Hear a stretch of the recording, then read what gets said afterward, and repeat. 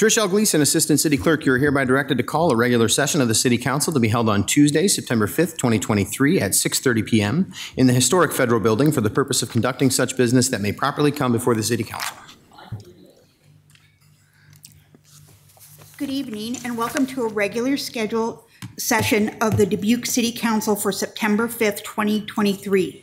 As a reminder to our participants, you can provide in-person input or virtual audio or written input during the sections of the agenda where public input is accepted.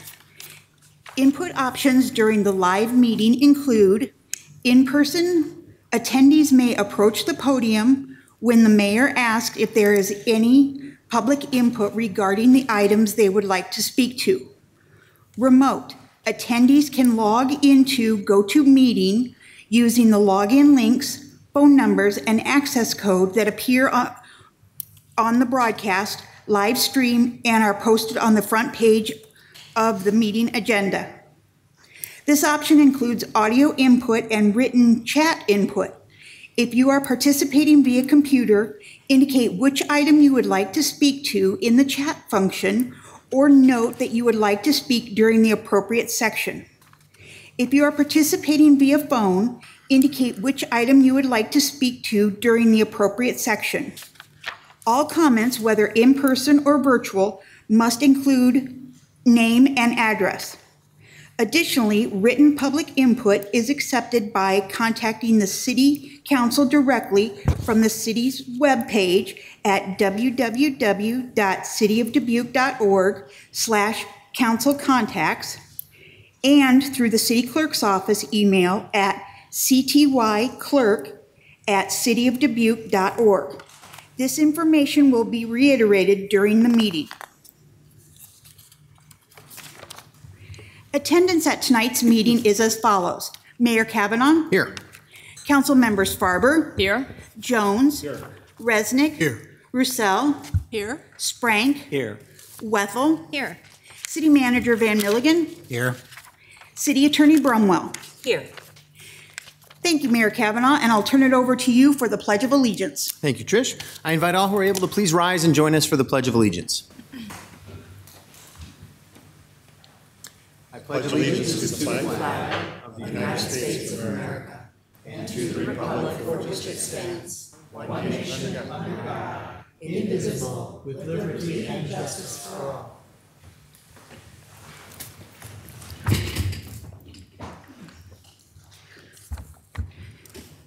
First on tonight's agenda are proclamations. Our first proclamation is uh, Nathaniel and Charlotte Morgan Peace Week. Thank you, Trish. And I believe we have Ernestine Moss and Chris Happ Olson and Brian Halstos here to accept this proclamation. And anyone else who would like to come up. So come on up. Yeah, come up to the podium. If you'd like to say a few words before I read the proclamation, feel free.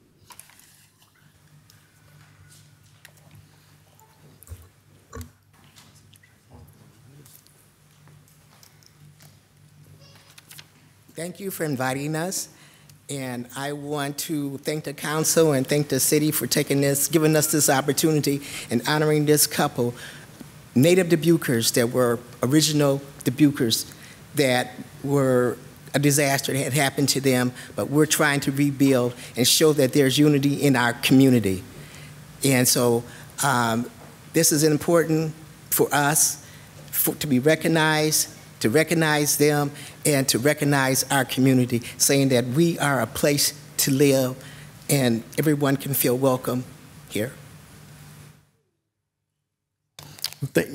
Maybe just quickly, you'll, you'll mention this in the proclamation, but everyone here and, and, in the public is welcome to join us tomorrow for a memorial service at the Shalom Spirituality Center at 7 p.m. Thank you. Well, thank you very much, and thank you everyone for being here to accept this proclamation. Looking forward to uh, attending the service with you tomorrow evening. City of Dubuque Proclamation. Whereas the City of Dubuque has committed to uncovering the history of all Dubuquers through the Black Heritage Survey in an effort to tell more, a more complete story of Dubuque.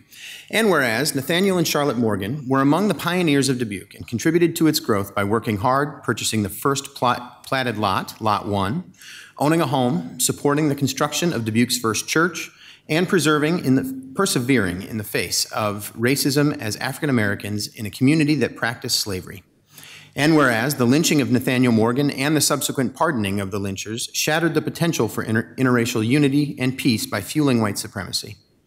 And whereas members of the National Nathaniel Morgan Memorial Committee believe that confronting our past injustice leads to learning, teaching, and building an equitable and diverse community. And whereas Dubuquers increasingly make a concerted effort in the face of ignorance, indifference, and racism to build an equitable and diverse community that honors the faith, aspirations, and perseverance of our earliest black residents. And whereas the Nathaniel Morgan Memorial Committee and other Dubuque residents maintain that in life, Nathaniel and Charlotte Morgan represented the promise of a unified and peaceful interracial community. And whereas the Nathaniel Morgan Memorial Committee will celebrate this rekindled promise of unity and peace in a public memorial service on September 6th at 7 p.m. in the Shalom Spirituality, Spirituality Center Chapel. Now, therefore, I, Brad M. Cavanagh, Mayor of the City of Dubuque, Iowa, on behalf of the City Council staff and residents of Dubuque, do hereby proclaim the first week of September as Nathaniel and Charlotte Morgan Peace Week.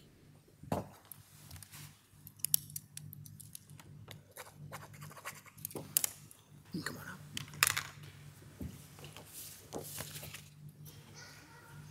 Thank you so much for being here.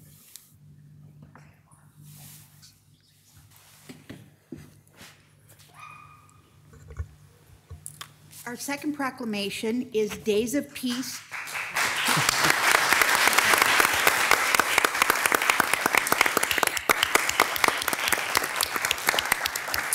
Thank you. Now that you started the trend, you can clap for everyone. Okay, our second proclamation is Days of Peace and Nonviolence, September 6th to, to October 1st. Thank you, Trish. I believe R.S. Stewart is here to accept this proclamation.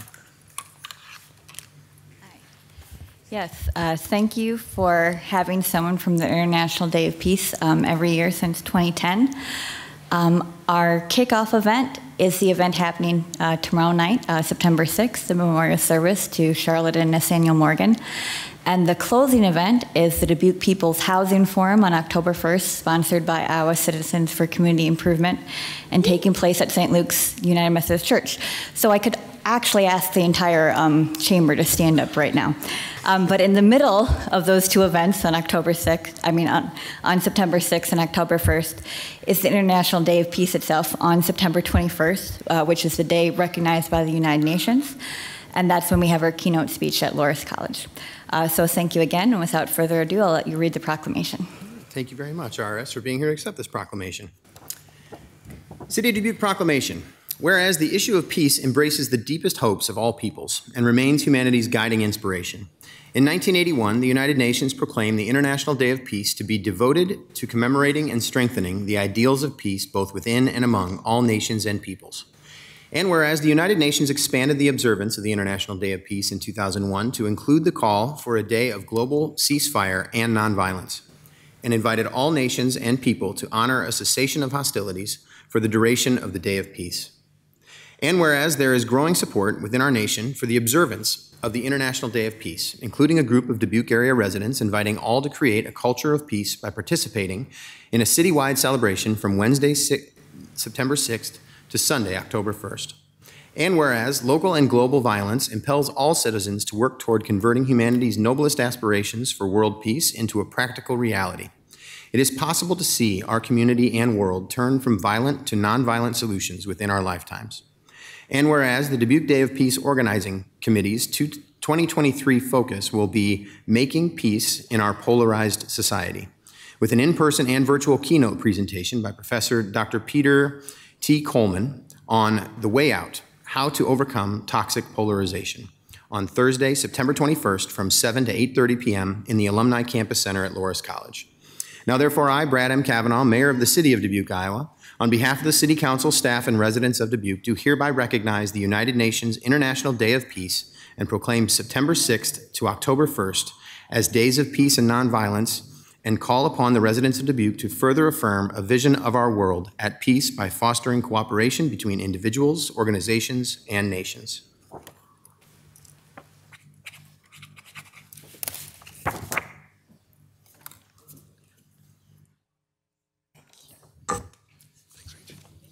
Thank you so much, RS. Thanks for being here. That's fine. Absolutely. Thank you. Right, we can clap now.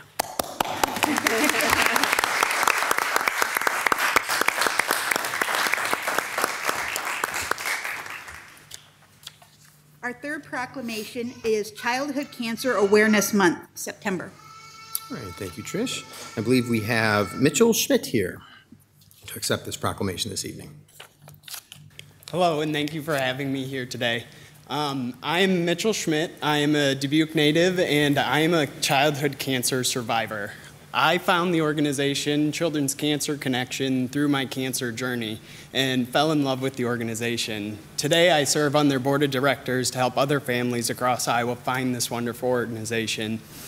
Um, Children's Cancer Connection, for those of you that don't know, we're a nonprofit and we service families all across Iowa. Our two biggest programs are an oncology camp and a sibling camp, and it is a week long day camp where the kids actually spend the night. And if you can believe it, our oncology kiddos have a full medical team, so they're allowed to leave the hospital if the doctors permit and come spend a normal week at camp.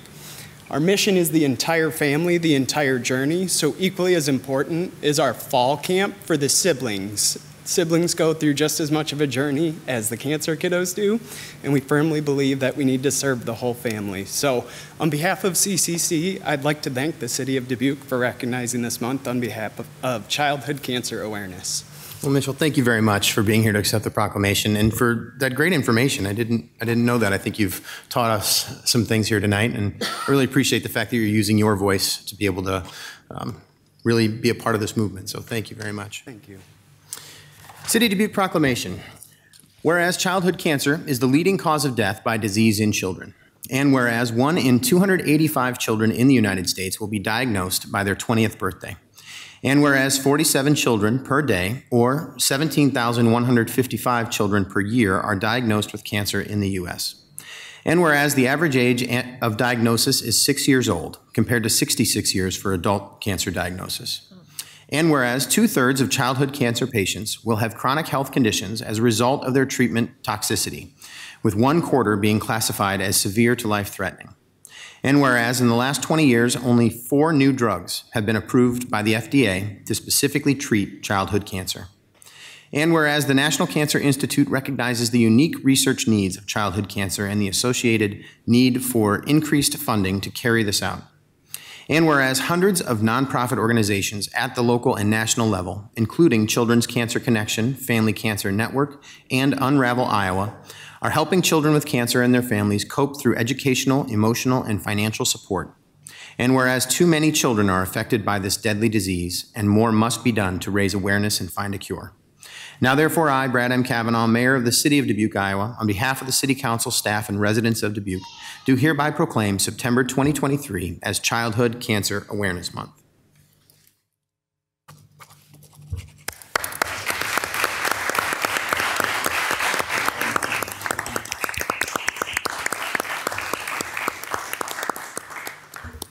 All right, Trish. Next on the agenda are consent items.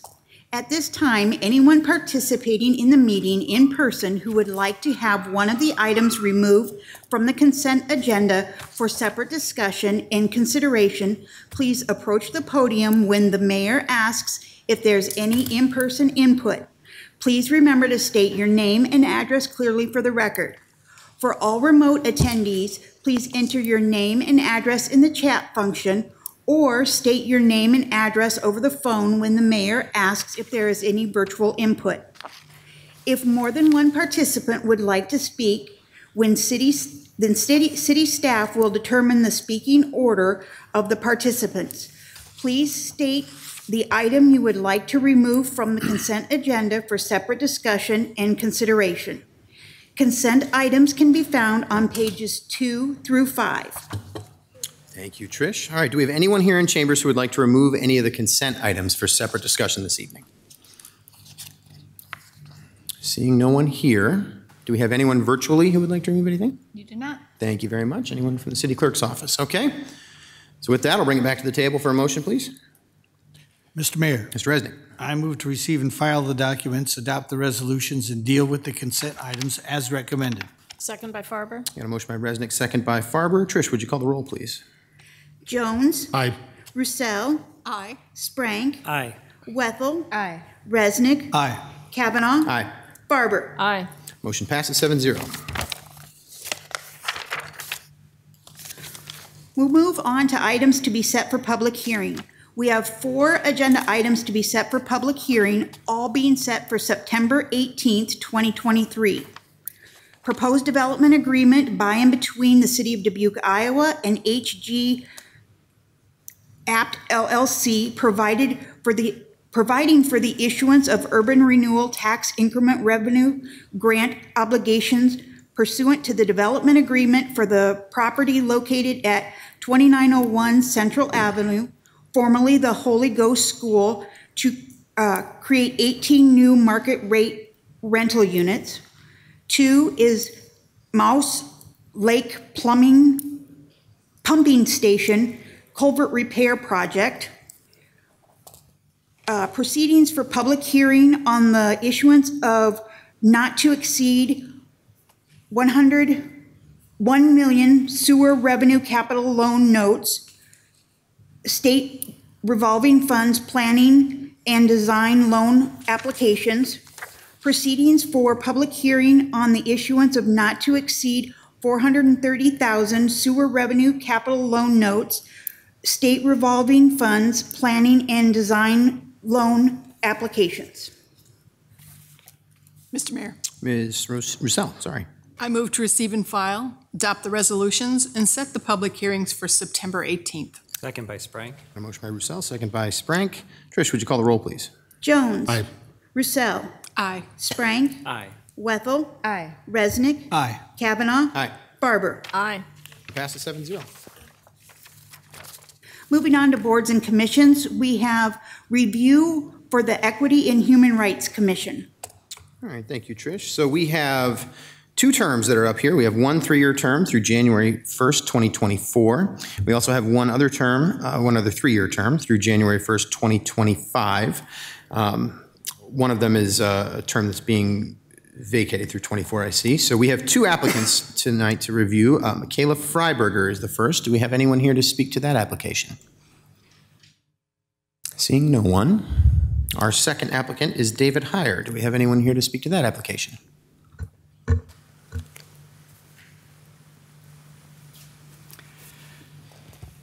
Good evening, Mayor Cavanagh, City Council members, City staff. My name is Dave Heyer, 805 Carey Chill Drive. I've been a resident for over 18 years. Thanks for this opportunity to introduce myself and tell a little bit about my interest in serving on this commission. Uh, it's actually been over 10 years since I've stood at this podium uh, when I served as the city's economic development director for, for eight years and then retired in 2013. I also have spent uh, much of my career in city government. I have 44 years in serving local cities um, as either a city manager or as an economic development director and even as a community coach. Uh, so with that background, obviously I know about boards and commissions and their roles, and I also feel like I can bring some organizational strengths to, to, to that board. Um, but, but the most important part, I guess, and, and for, for me, is my passion about equity, and that's why I'm applying to be on, on this board. Since I retired the second time about a year ago, I've been doing a lot of volunteer work in, in the community, particularly uh, with the Community Foundation, and participated in their equity series, their seven part uh, monthly series on, on equity issues, and listen to the panels, but also then help facilitate community conversations following those panel discussions. Currently, I have agreed to be part of their Better Together committee, which is just in the process of being organized now in Dubuque. It's a coalition of people who are concerned about migration and immigrants, and, and it's an effort to try to make Dubuque a more welcoming community for migrants and immigrants. So I'm sure you'll be hearing more about that as we kind of get ourselves together, but that's just in the initial process.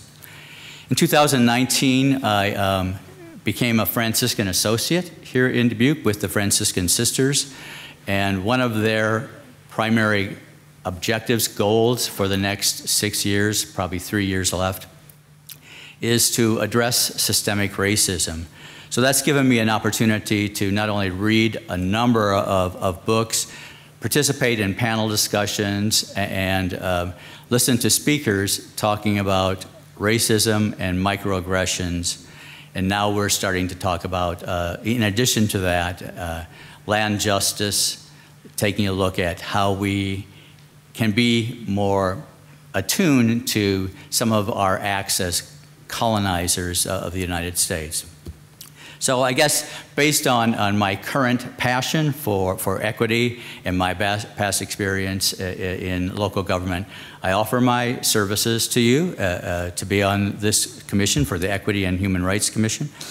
And if there are any questions, I'd be happy to address those. Thank you, Dave. Any questions for Dave? Thank Seeing you. none, thank you very much for being here to speak to your application. All right, Trish, we can go ahead and move on.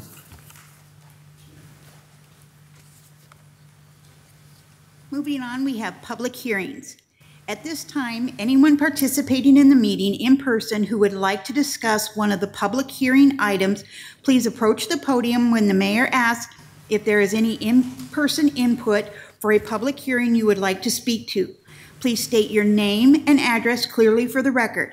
For all remote attendees, please enter your name and address in the chat function and state your question. Phone participants, please state your name and address when the mayor asks if there is any virtual input for a public hearing you would like to speak to. If more than one participant would like to speak, then city staff will determine the speaking order of the participants.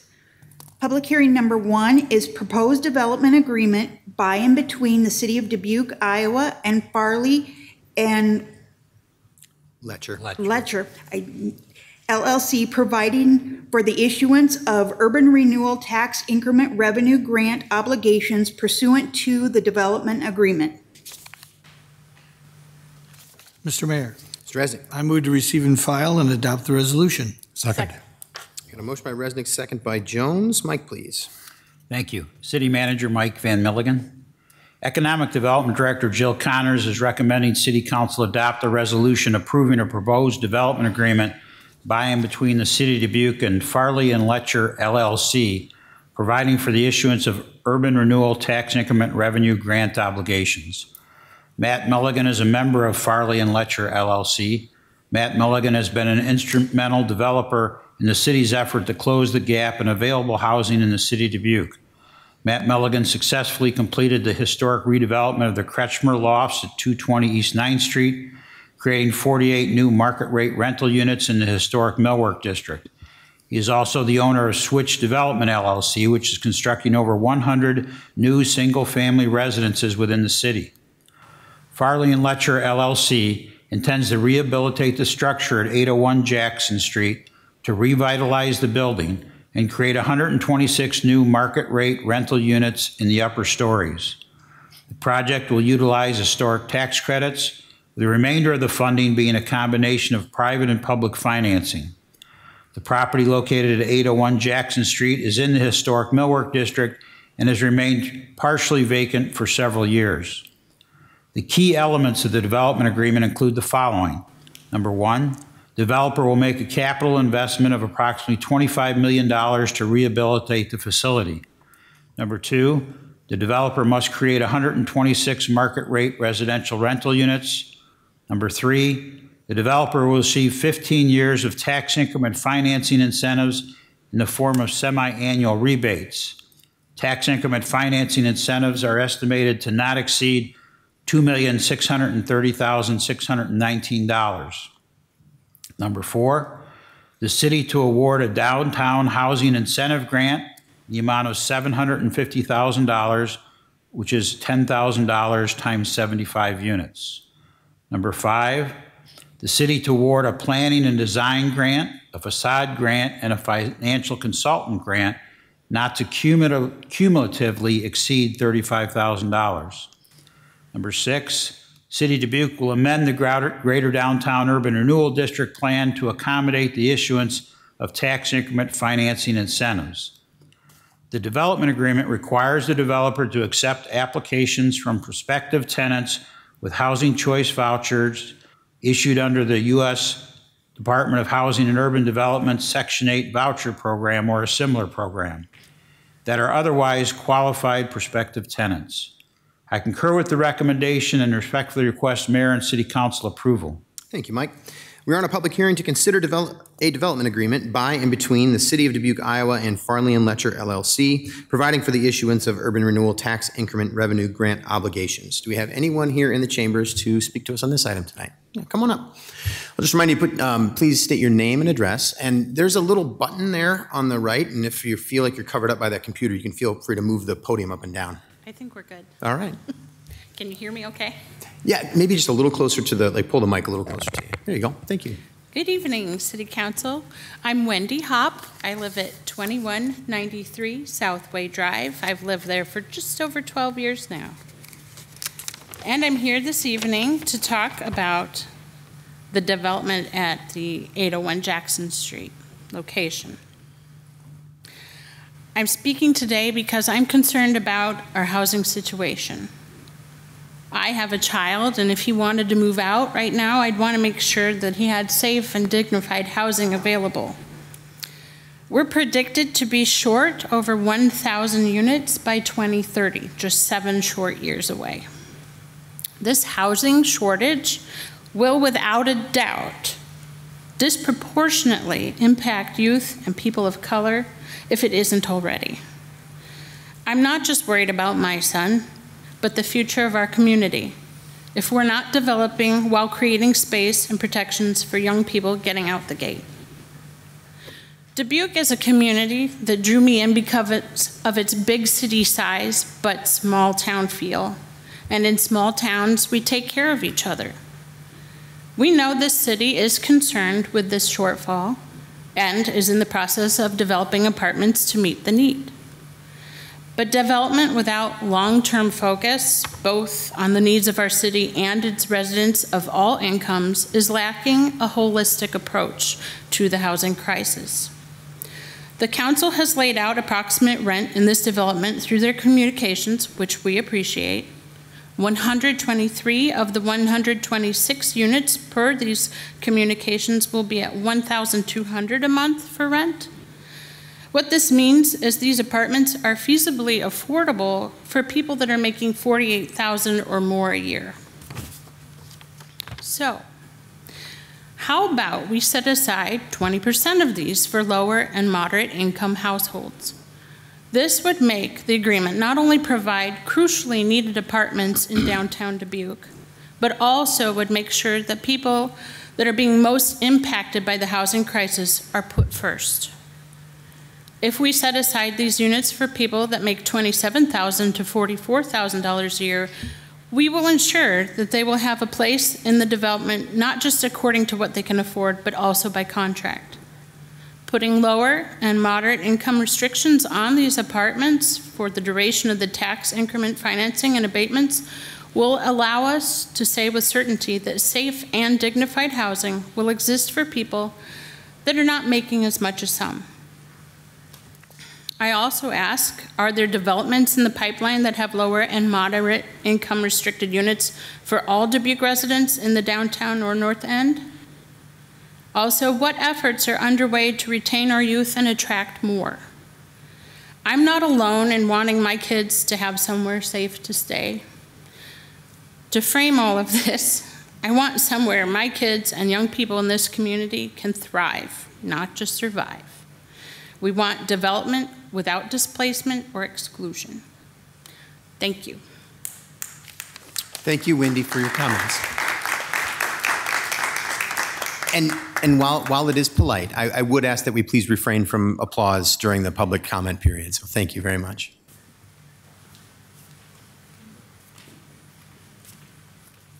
Hello.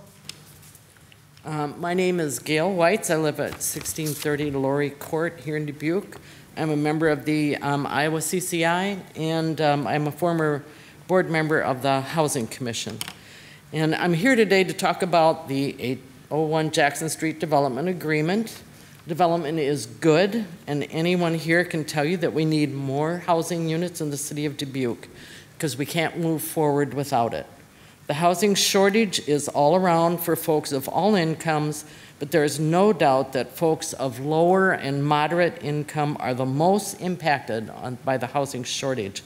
And these are the people that are most often being subjugated to poor housing conditions, living without dignity, without safety or dignity. They're sharing space with cockroaches, they're having electric bills that are hundreds of dollars, and they're having to deal with landlords that do not respect their property, their tenants, or their tenants' rights. But the good news is that development doesn't have to be so divisive where one party gets everything and the, less, the rest are left to the wind. Everyone can benefit from new housing regardless of income, and everyone should.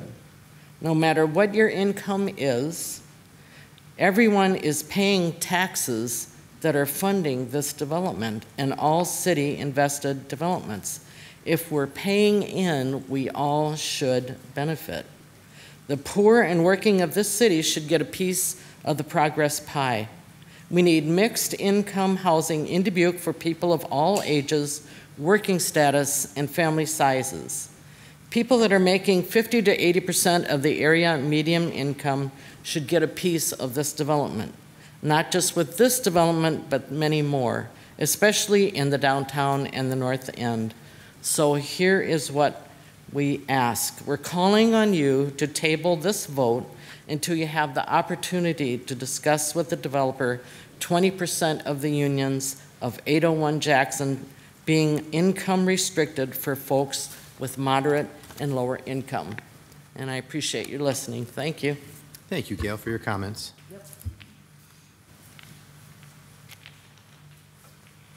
Do you have any other public input this evening?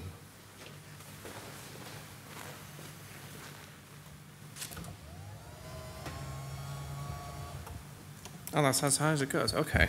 Okay. Hello, my name is Nina Urba. I live on 180 West 15th Street, and that uh, address is significant because I happen to live in a building that is managed by a nonprofit which allows for rent control apartments, and I consider myself lucky. This is how Merriam Webster defines the word gentrification a process in which a poor area, as of a city, experiences an influx of middle class or wealthy people who renovate and rebuild homes and businesses, and which often results in an, in an increase in property values and the displacement of earlier, usually poorer residents. Now, you could argue that since the Millwork District is already fluxed with people who already can pay the rents that we are describing, that they that this building would not be subject to gentrification. The North End, however, is a perfect example, and I bring that up because my hand was forced to speak today when I read the TH last week, when I read that the Manders siblings in Dubuque are looking to come to this very building at the next City Council meeting in two weeks to speak about how they want to turn the former Holy Ghost School into an apartment building full of market rate apartments. This is after they turned the next door building into a building full of not only market rate apartments, but also an Airbnb. And I am sorry, but I don't think you have a concept of how poor we actually are. Some of us here are trapped in the benefits cliff. And I don't use that word lightly. We are trapped. I have to keep my wages artificially low, or otherwise I lose my Social Security disability check, which I depend on paying my rent. I have a friend who unfortunately couldn't make it here today who has to keep her wages artificially low so that she can stay on Medicaid and have some semblance of security and making sure she gets the insulin she needs so that she does not literally die. To speak of nothing of the people here who are also on fixed income and have no way of making sure that they can be able to raise the wages that they are already receiving. We are not being lazy, sitting around all day eating fudge rounds. We are suffering from constant anxiety about how we can be able to make enough money so that we can be able to both pay the rent and put food on the table. And we are happy to speak with you on a personal level, one on one. But if you don't want us to come here and speak on this very issue every single time that there is a development waiting to be issued, please start taking us seriously. Thank you. Thank you, Nino, for your comments. Any other public input this evening?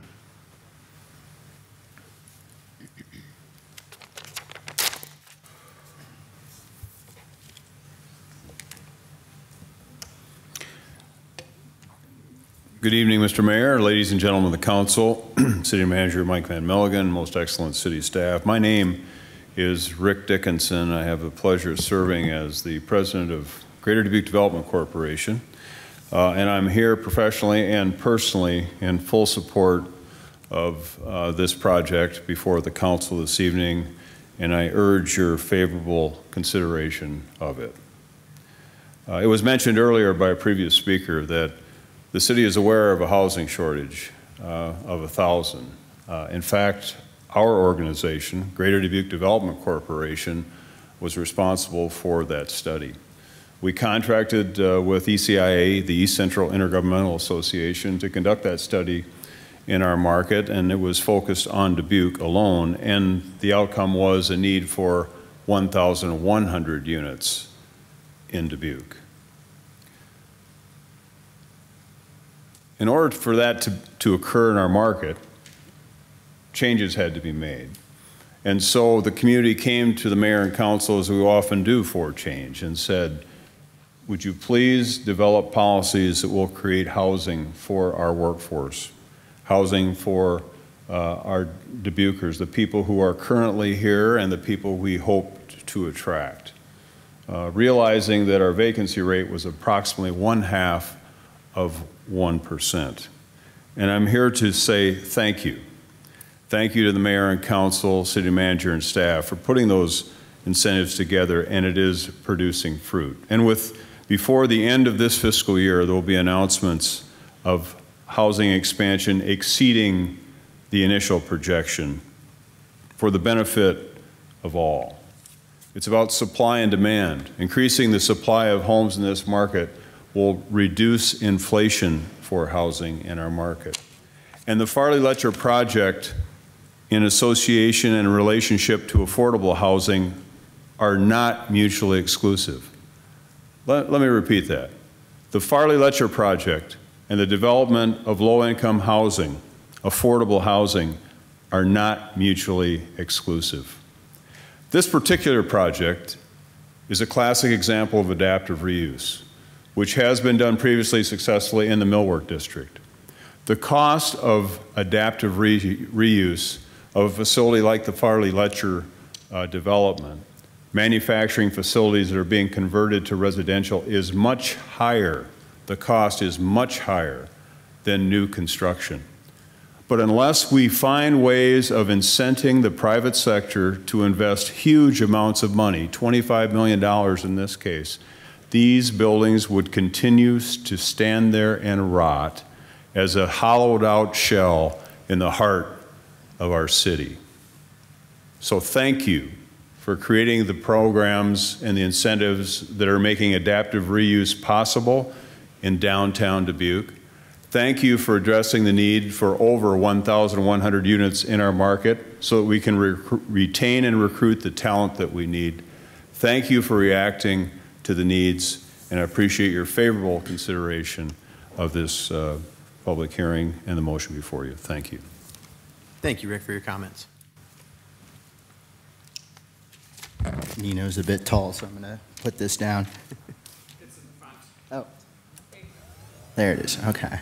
Um, yeah, we're not all six foot, Nino. Um, um, yeah, so I'm a member of Iowa CCI. My name's Jaime Izaguirre. Uh, that's Iowa Citizens for Community Improvement.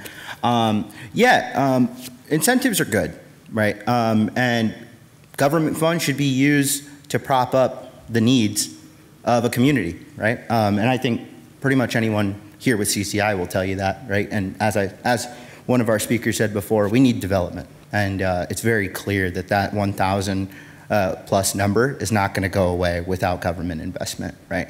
Um, but when we're talking about the housing shortage and talking about the production of housing, the question that underlies that is for who, right? And it's like we're not we're not trying to say that development is bad. What we're trying to say is that this is disparate. The outcome is disparate the people who are benefiting from this is disparate. There are only, to our knowledge, seven income restricted apartment complexes in the city. Seven. And four of those are only for young people or people who are non-elderly, right? Um, and you know, we need uh, income restricted housing for elderly folks too, but that begs the question, when are we gonna get some mixed income housing, right? Um, and we conducted over three, we got over 300 survey responses over the summer, many of them saying the exact same thing that we're saying right now, right? People want mixed income development in the downtown and in the north end, right? Um, and just to lay it out, right? Government investment without an ask or a requirement that benefits people is corporate welfare, right? Um, and so we're, we're very clear about that, right? And uh, we like the fact that Section 8 is like non-discriminatory, right, uh, as part of this development agreement, but it needs to go further. We need a set aside. We need a piece of the pie, right? And uh, we're not going away until we get some mixed income housing. And, uh, you know, we, we haven't approached you guys about this yet, so we, we can't say for certain whether you're for or against it, but we're, we're here with you, right? And we'll, we'll walk it through. We've done a lot of research. We can meet with you, but uh, I think it, it can start here, right, um, to, to say the least. And, uh, you know, um, if you guys sit down with the developer and you ask, can, can we do 20% uh, restricted income units, which they would receive additional government funding for in the, firm, uh, in the form of tax credits, right, further tax credits, then, uh, you know, if it doesn't work out, it doesn't work out, and we'll understand. But we don't know what's happening behind closed doors, right? Um, and so we, we want to see that conversation. Um, yeah, so that's, that's CCI standpoint. Um, thank you. Thank you, Jaime. Hey, Jaime, before you go, do you have an address you can give us? I didn't hear that part. Oh, yeah, I just moved into a really nice apartment, uh, 1394 Locust Street, right? I got a nice retro oven, a 70s style den, you know. So. Thank you, Jaime. Thank you very much. Any other public input this evening?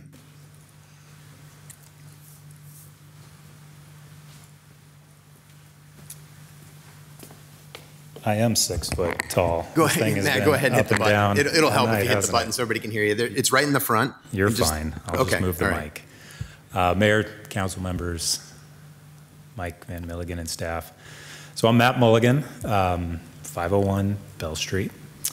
Um, As you mentioned, I'm the developer of the project, and I'll just highlight really the vision and what the, why I chose this building. So I am also the president of Conlin Construction.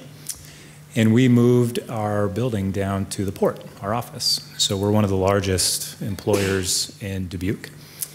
And um, so we have also invested in, in downtown. And, you know, when I come downtown and you exit on White Street, the first thing you see are three very large vacant buildings. And that's the first thing a lot of people see when they come visit our community. And as you venture further into whether it's downtown Main Street or Millwork District, et cetera, the, you know, that, that vibe changes, no doubt. But the first thing you see are, are vacant buildings. And so that is your initial perception. And what we did with the Kretschmer building and what we've done with this particular building, um, we brought some young talent that's in Dubuque that works downtown. And we said, what do you want? What's, what's important to you? You know, you go to a traditional apartment complex in Iowa City or Quad Cities or what have you, and you'll have a gym, you'll have a pool, and, you know, amenities like that that you're used to seeing, and, and that was not on the list. And so there were other amenities that they wanted, you know, a rooftop accessible, they wanted, you know, things like that to, to really accommodate that feel of urban living in small town Dubuque. And so we incorporated those into Kretschmer, and we're incorporating those into um, into the Farley and Loetscher. And I'm happy to say that the the Kretschmer building is it's fully leased, and it leased up very quick. And that identifies the fact that there is a lack of housing, as has been expressed. And I appreciate everybody's comments this evening, by the way.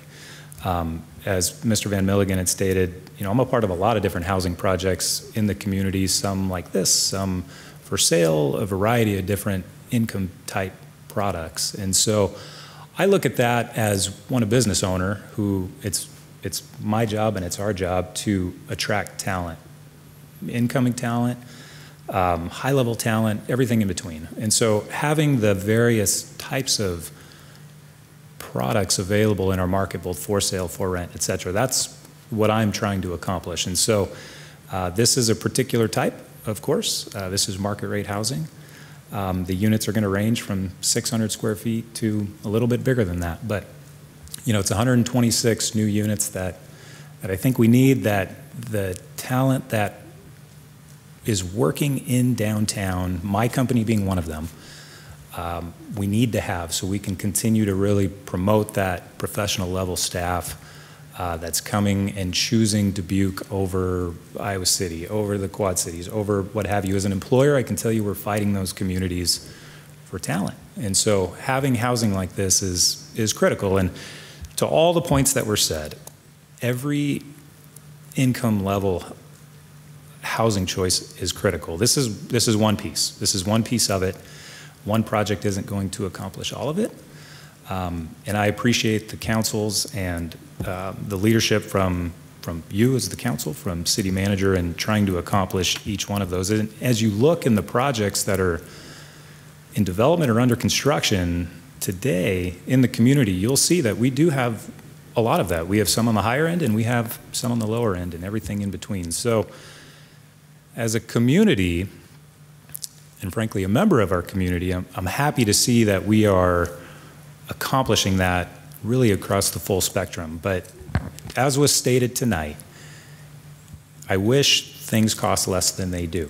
It, it costs a lot to build things right now. It costs a lot to finance things right now, and it's it's a challenge. So, getting this done is is on the top of my list. I know it's on the top of your list, and and um, so I'll stop there. But I will say again, I appreciate you. I appreciate you considering this. To everybody that spoke this evening, I appreciate all of your words. And as somebody who develops housing in the community, believe me, your what you are after is not lost on me. And so. I know myself and other developers, we are looking at how can we best accomplish that. So thank you. Thank you, Matt, for your comments. Anyone else this evening? Okay, I'll check virtually here. Do we have any virtual comments, Corey? Do not. Okay. Anyone from the city clerk's office? Okay. And back one more chance for going once, going twice. All right. So after this, we are going to, um, there'll be no more public input on this item. We're going to bring it back to the table and it'll just be council discussion. Okay, back to the table then for discussion, and I'm actually going to kick us off tonight. So, um, first, first and foremost, thank you so much for for the the great discussion on this particular item. Um, not only have some of you spoken tonight, we've received a lot of email input on this item as well. Um, and I know a lot of that is coming directly from the, the work that CCI is doing. So thank you for doing that here in Dubuque and for communicating with us in this way. Um, and I'm, I'm just going to echo kind of what Matt just said at the end there. I really appreciate everybody's aspect of the, of the conversation here. In my mind, we are still very much at the beginning of this conversation. Um, I wrote back to a lot of you who wrote, uh, you know, there was a letter that came our way, and I responded. I tried to respond to everyone, so I hope I hit every letter that came my way. But I, I tried to respond, and um, I, I, put some thought into the in, into my response and looked a little bit into the the situation of, of what we're trying to do here in Dubuque. One of the things that struck me was, you know, we really haven't developed housing in Dubuque in any real numbers since the 1990s. We just haven't really done it. And there are a lot of reasons why. A lot of it was economical. Um, a lot of it was very much in line with what was happening across the nation. I mean, open any news source today, and what you're going to see is housing shortage, housing shortage, housing shortage. It's, it's just everywhere, all across the country. Everybody's dealing with it differently. And one of the things that's important, I think, as we think about who we are and what we're doing in Dubuque, is that we have to do this in a way that's going to work for us. And that is really an important piece of why it's I think it's incredibly essential that we're all having this conversation in the way that we're having it. Um, the comments that you made tonight and the, this idea of making sure that we are focusing on housing at all income levels, first of all, is absolutely something that we have talked about frequently here. We're, we're trying very hard to do that as a city council and as a city of Dubuque. Um, but secondly, the ideas that you have are some new ideas that I haven't quite dealt with yet and thought through too much. And I'm really looking forward to being able to, to do that a little bit more and have this conversation and further it. Um, as I mentioned in the, in the letter that I responded uh, with to, to many of you, um, I am, my position tonight, I'll just start with my position tonight and I'm going to tell you why. I, I'm going to vote for this development agreement as it is. And the reason that I plan to do that is because I think that that's where we are in this particular spectrum of housing right now in the city of Dubuque. We need housing at all levels, absolutely. And there may come a time, and it might not be too far ahead, I'm not sure yet, when we have to incentivize certain types of housing over others. But right now, we need to incentivize housing, period. We have got to get this moving. And one of the reasons that I feel comfortable saying that is because I think there's very good evidence in the literature on housing that says that when you promote housing in general, even if it's market rate housing primarily, that there's a spectrum of housing that then is created and people can move along that spectrum. Now, are those is the housing for people at every income level going to be exactly where everybody wants it? That's a tough one to do, right? And that's something we need to think about as we move it forward. But what we need right now is we need to get housing for people who want it at whatever income level they're at. And we need to take those places that you mentioned. There was somebody, and I, I'm sorry, I wrote notes down here, but actually it was Gail, um, mentioned that there are tenants that are sharing um, space with cockroaches and landlords that are not considering their rights as tenants and really high utility bills. If I'm going to be honest with you, one of my goals is to make those places just not attractive to anybody. I would like to make it so people don't need to live in those places anymore. And landlords will be forced to make those places nicer than what they are. And if we can build enough housing, we can do that. Nino, you mentioned the Airbnbs. That is absolutely a problem. Um, this, is a, this is a real challenge. We need Airbnbs in Dubuque. Every city that has tourists like we have, we need those places. But we are absolutely in a numbers game when it comes to Airbnbs and VRBOs, and not to denigrate any specific company, but short term rentals, I'll call them we, we have a problem with this. We can't regulate short-term rentals in this city based on state legislation. So what that means is we need enough housing that people just get right out of the market of short-term rentals. We can have plenty of short-term rentals for everybody, but you can't make everything a short-term rental. Eventually, we're going to need to have some apartments for people. And if we make enough housing, we can do that. There are a lot of ways that we can do this. You're talking about the, the comments we had tonight were coming from one direction. This council's working from another direction. And I think that we're all actually heading in the same general direction. It's how we get there. It's how we get there that we need to continue to discuss. So I'm going to open it up for the rest of the council, but I, before I do that, I want to say a couple things. Because um, I think there's some really key comments that I, I want to make sure I hit on. Are there developments in the pipeline for people of all incomes? The answer is yes. I would refer people to consent item number nine on tonight's agenda. Um, consent item number nine, if you get a chance, write that down and go home and look at the, pull it up on your, um, on your computer to be able to look at it. There is a uh, housing incentive brochure that we have created, and the city staff have created this. We, uh, as Mr. Dickinson said, we need 1,100 units. Currently in the pipeline, 2,029 units. That's better than we ever expected last year than when we passed these incentives. But if you look at those units, you're going to see quite a bit that's going. What you're also going to notice is most of those are not off the ground and are not completed yet. And that's one of the challenges.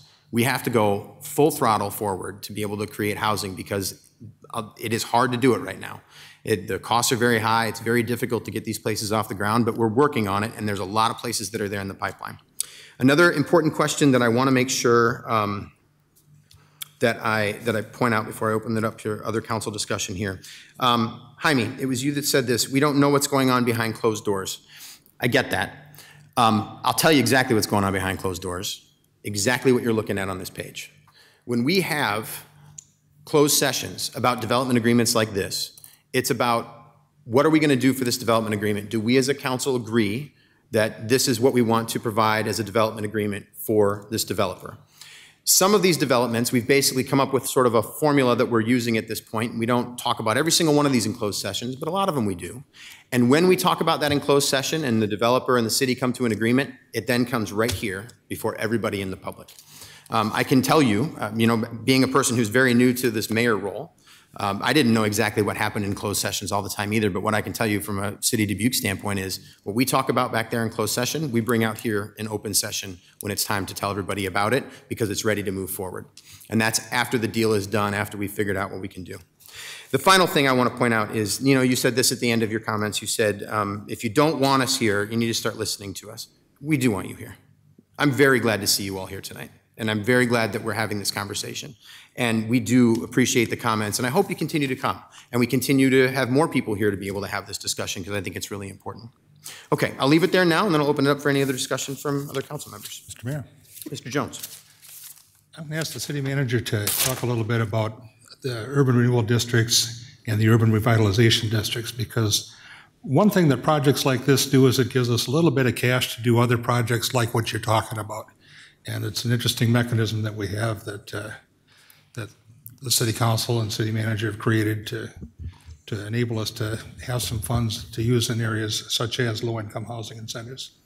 Sure, thank you. If you don't mind, I'll make the answer a little bit broader than that. So um, the good news is the comment was made about having a holistic approach, and I think the city council, mayor and city council have done that, and I'll try and describe how some of that is. Um, I would say before you created your incentive packages, you listened to uh, what the community was saying through the equity profiles, and one of those specifically was on housing. And you've amended those uh, incentives since then to even make them even better. Um, but as far as affordable housing, so the mayor mentioned there's over 2,000 uh, units that are on the drawing board right now or have just been completed. And uh, of those, 172 are affordable housing units. So there's 142 of those on Radford Road. Two of them were just completed over the last about 18 months. But then um, in this year's competitive round for low-income housing tax credits, and you have to remember that is competitive. So developers submit an application to the Iowa Finance Authority. The Iowa Finance Authority has a limited amount of low-income housing tax credits that they can give to developers across the state. And this year they awarded 11, I'm sorry, 12 separate developments low-income housing tax credits. Um, Dubuque got two of those projects. So out of 12 across the state, uh, two of those are going to be in Dubuque. Um, one of them is 30 units uh, right next to City Hall in the old Heartland building. And then another is uh, 48 units on Radford Road. And so that's where I come up with 142 units on Radford Road, the two that are just completed in that new one, for a total of 172 new affordable restricted rent units. Um, then the mayor and city council doesn't stop there. So you created a program, and this was about seven or eight years ago, where when anybody builds a new residential development like a subdivision, you uh, designate those as what's called housing tax increment financing district. That's allowed by state law. Used to not be a tool that was used in Dubuque. It's not used in many, it's not used, there's communities all over the state that don't use the tool. But anyway, you started to use it. And the way it works is that allows you to provide some assistance to make, to incentivize that residential subdivision. But then it captures about 40% of all the incremental new taxes created by that development and assigns it only to affordable housing projects. So then what the mayor and city council does is takes those dollars and helps people develop affordable housing in other places in the community. A lot of that has been used to uh, renovate where people buy single family residences and renovate them and then use them as affordable housing. But there's been other projects too, larger ones.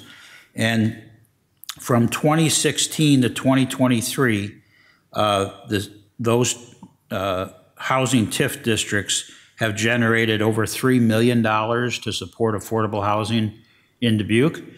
And in the, uh, when the mayor and city council adopt a budget, you adopt a five-year capital plan. And in the five-year capital plan you just adopted, there's millions of dollars more being generated by these residential subdivision housing TIF districts that is going to be targeted towards affordable housing. Um, so that's another tool that you can you're allowed to use, and you decided to use it, thinking about that more holistic approach. Then the other thing you looked at when you adopted your housing creation incentives last September is you wanted to see is there a way to incentivize affordable housing outside of low income census tracts? So it doesn't mean because you're low income, you have to live in a low income neighborhood.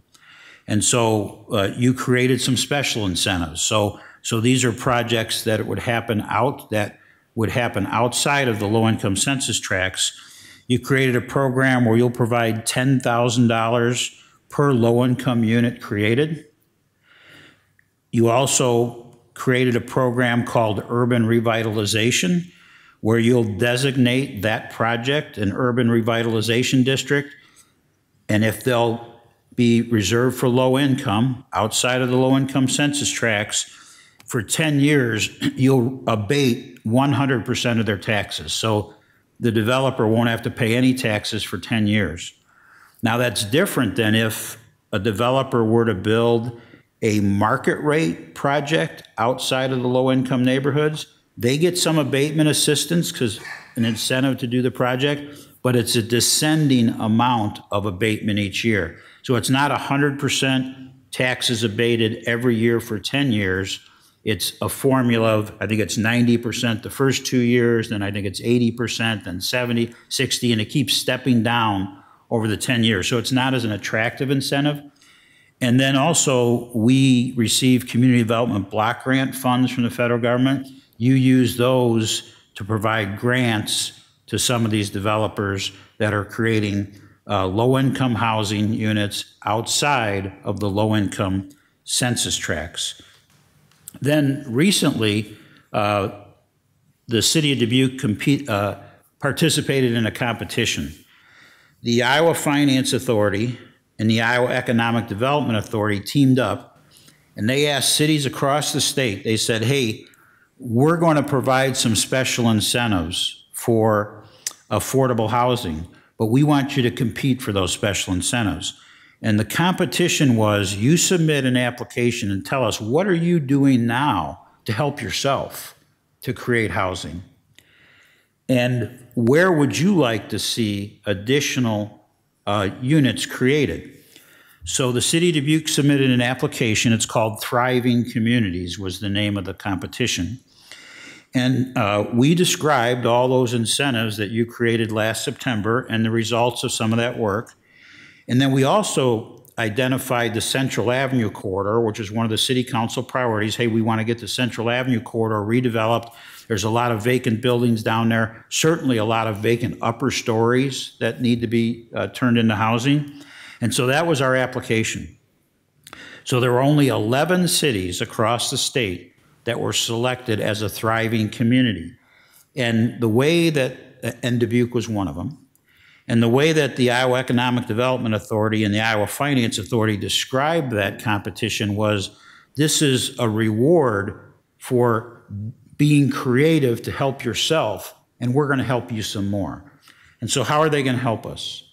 So, what the, every year, the Iowa Finance Authority does a competition, and the Iowa Economic Development Authority for what they call workforce housing tax credits. So it's a little higher income standard than low income housing tax credits, but it's not it's not market rate.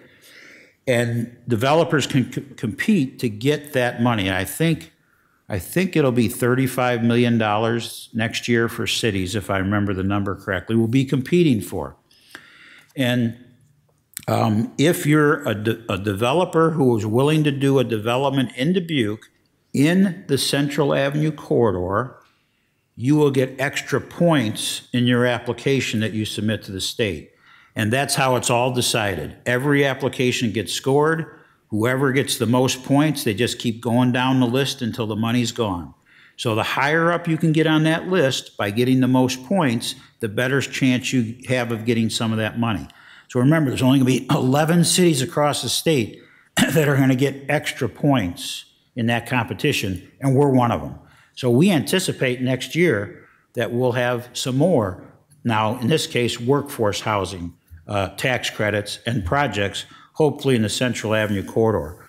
Uh, but the mayor and city council does another thing.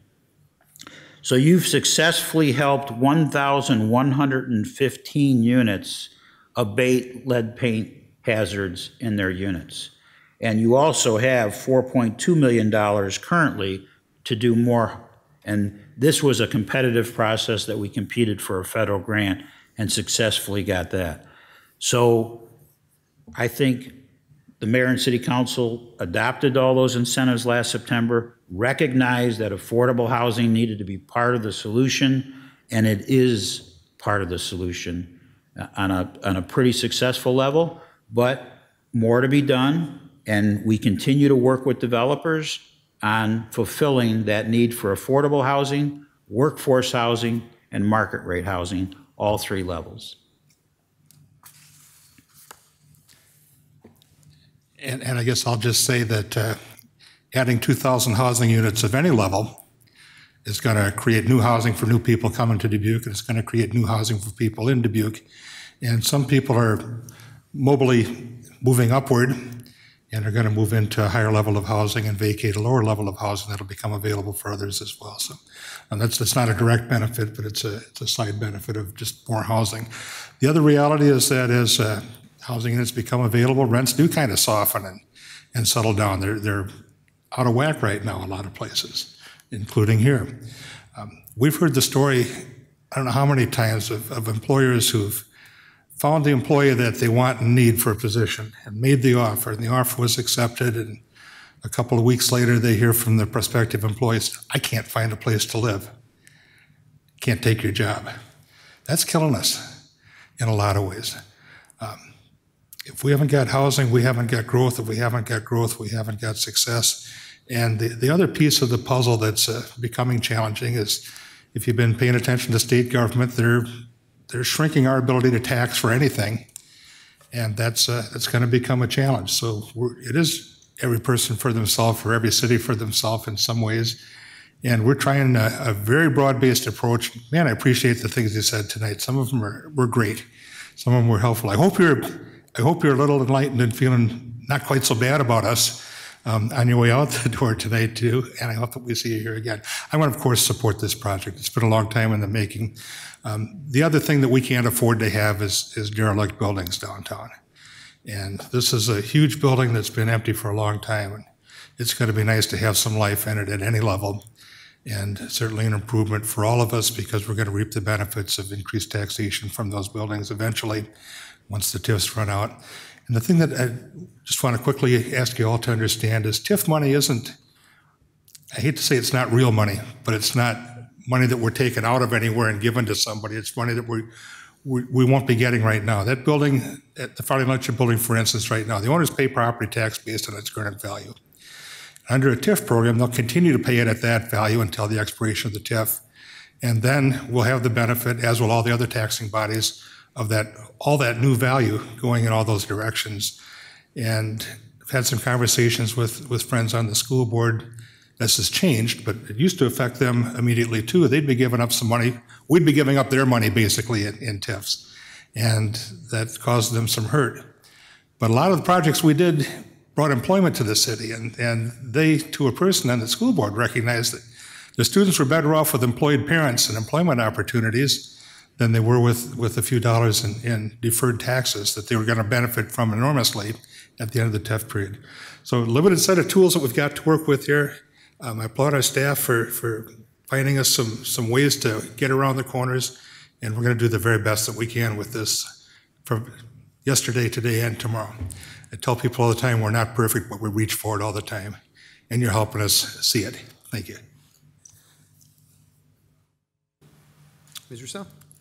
Thank you.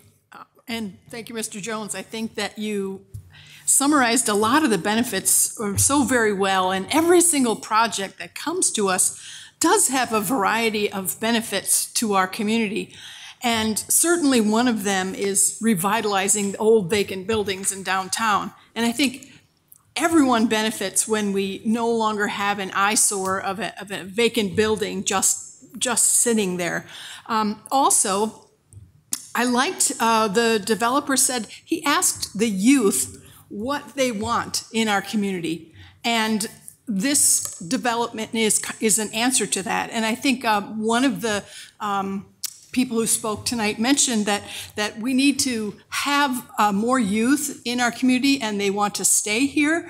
And so we want to make sure that we have um, um, amenities and housing that, that's going to retain those youth because our employers need employees. If our if our community is to thrive and if our businesses are to thrive, we need to have employees to fill those jobs. The other thing I wanted to just reiterate what Mr. Dickinson said, was that um, this project and low-income housing, they are, they are not mutually exclusive. So I, I hope that what um, Mr. Van Milligen stated with all the projects and programs and incentives that we have to bring low-income housing, affordable, safe housing to our community are still something that we are focused on. And I feel confident in speaking for everyone at this table that that is something that's really important for us. We want our citizens to live in housing that is, that is safe, that they can afford, that, that we'd want our own family to live in. So that's what we will be striving for in, in a, um, a, a broad approach. So not every single project is going to be maybe specifically targeted at what you might be um, looking for, but I think having a broad overall approach to, as we are taking is going to really benefit our community. Thank you. Thank you. Mr. Mayor? Ms. Farber. So I um, very much echo um, all the uh, comments that have been made tonight, but I really want to give you guys a shout out for the emails and for the comments that were shared with us uh, during the course of the last weekend and today. Um, and I appreciated the opportunity to reach out to each one of you uh, that sent us emails. And I think it's just important that, um, and I'm very supportive of energizing our downtown corridor. And I have spent most of my career and life living in apartments in downtown neighborhoods in various cities. So I'm under the impression that, quote unquote, and I think you've heard this before, um, if you build it, they will come. And I think evidence the millwork, evidence how the downtown in Dubuque was in previous decades, and hopefully that revitalization and that adaptive reuse, um, which is a good example of the Farley and Loetscher building and, and Matt and Conlon Construction's work, uh, will begin to um, evolve so that we have a sense of stronger community and stronger opportunities to live, work, and play in the neighborhoods where we can uh, raise our children.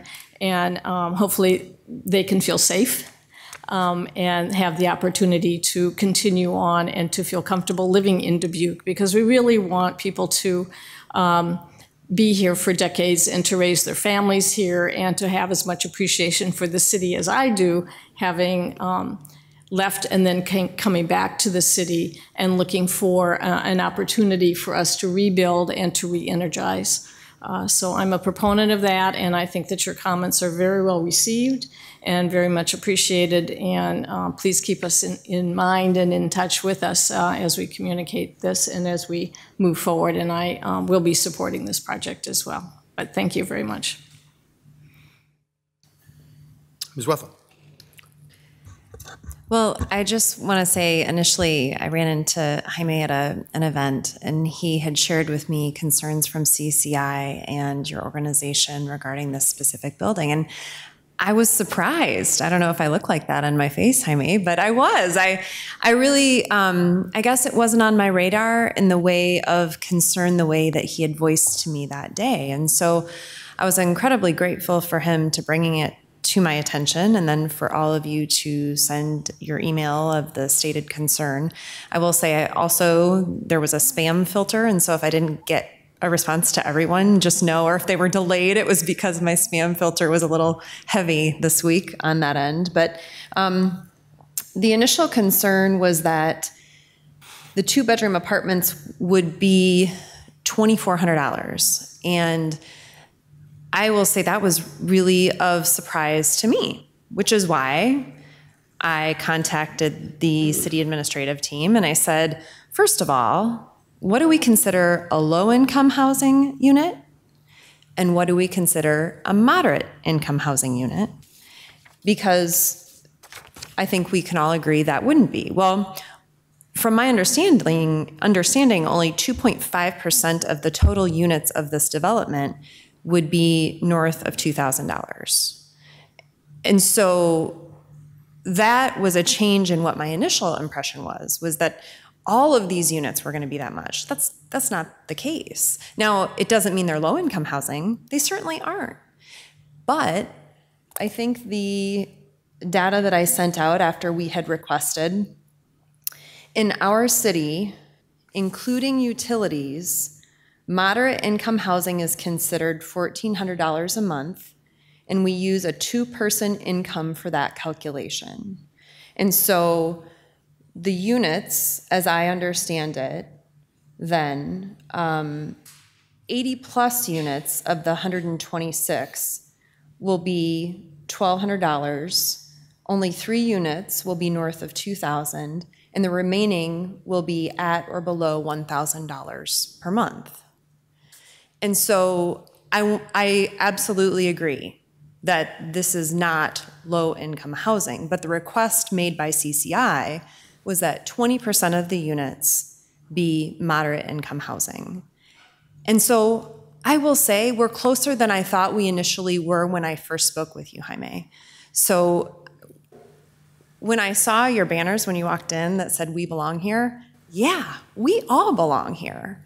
We belong here to have these conversations. I work for you, and I need to hear from you these things. Um, to look at a developer who I feel has made a real impact in our community in the ability to bring housing for different levels of professionals to our city. We're talking about, you know, folks who are going to be teachers and police officers and firefighters in some of these developments that Mr. Mulligan has worked in. And so I appreciate that we need to work harder always. We need to take what you have given us in this information and we need to work with it in the future. But I promise you, what we have been talking about is a lot of what you're asking for. As Mayor Cavanagh had stated, we are working at this, and your your fight and your effort does not lay empty on me because it invigorates me more to make those efforts mean something. So I agree with my council members who are going to support this because I wholeheartedly want to. I believe there's a need for this specific building to be developed in this way, and I'm very proud to support it.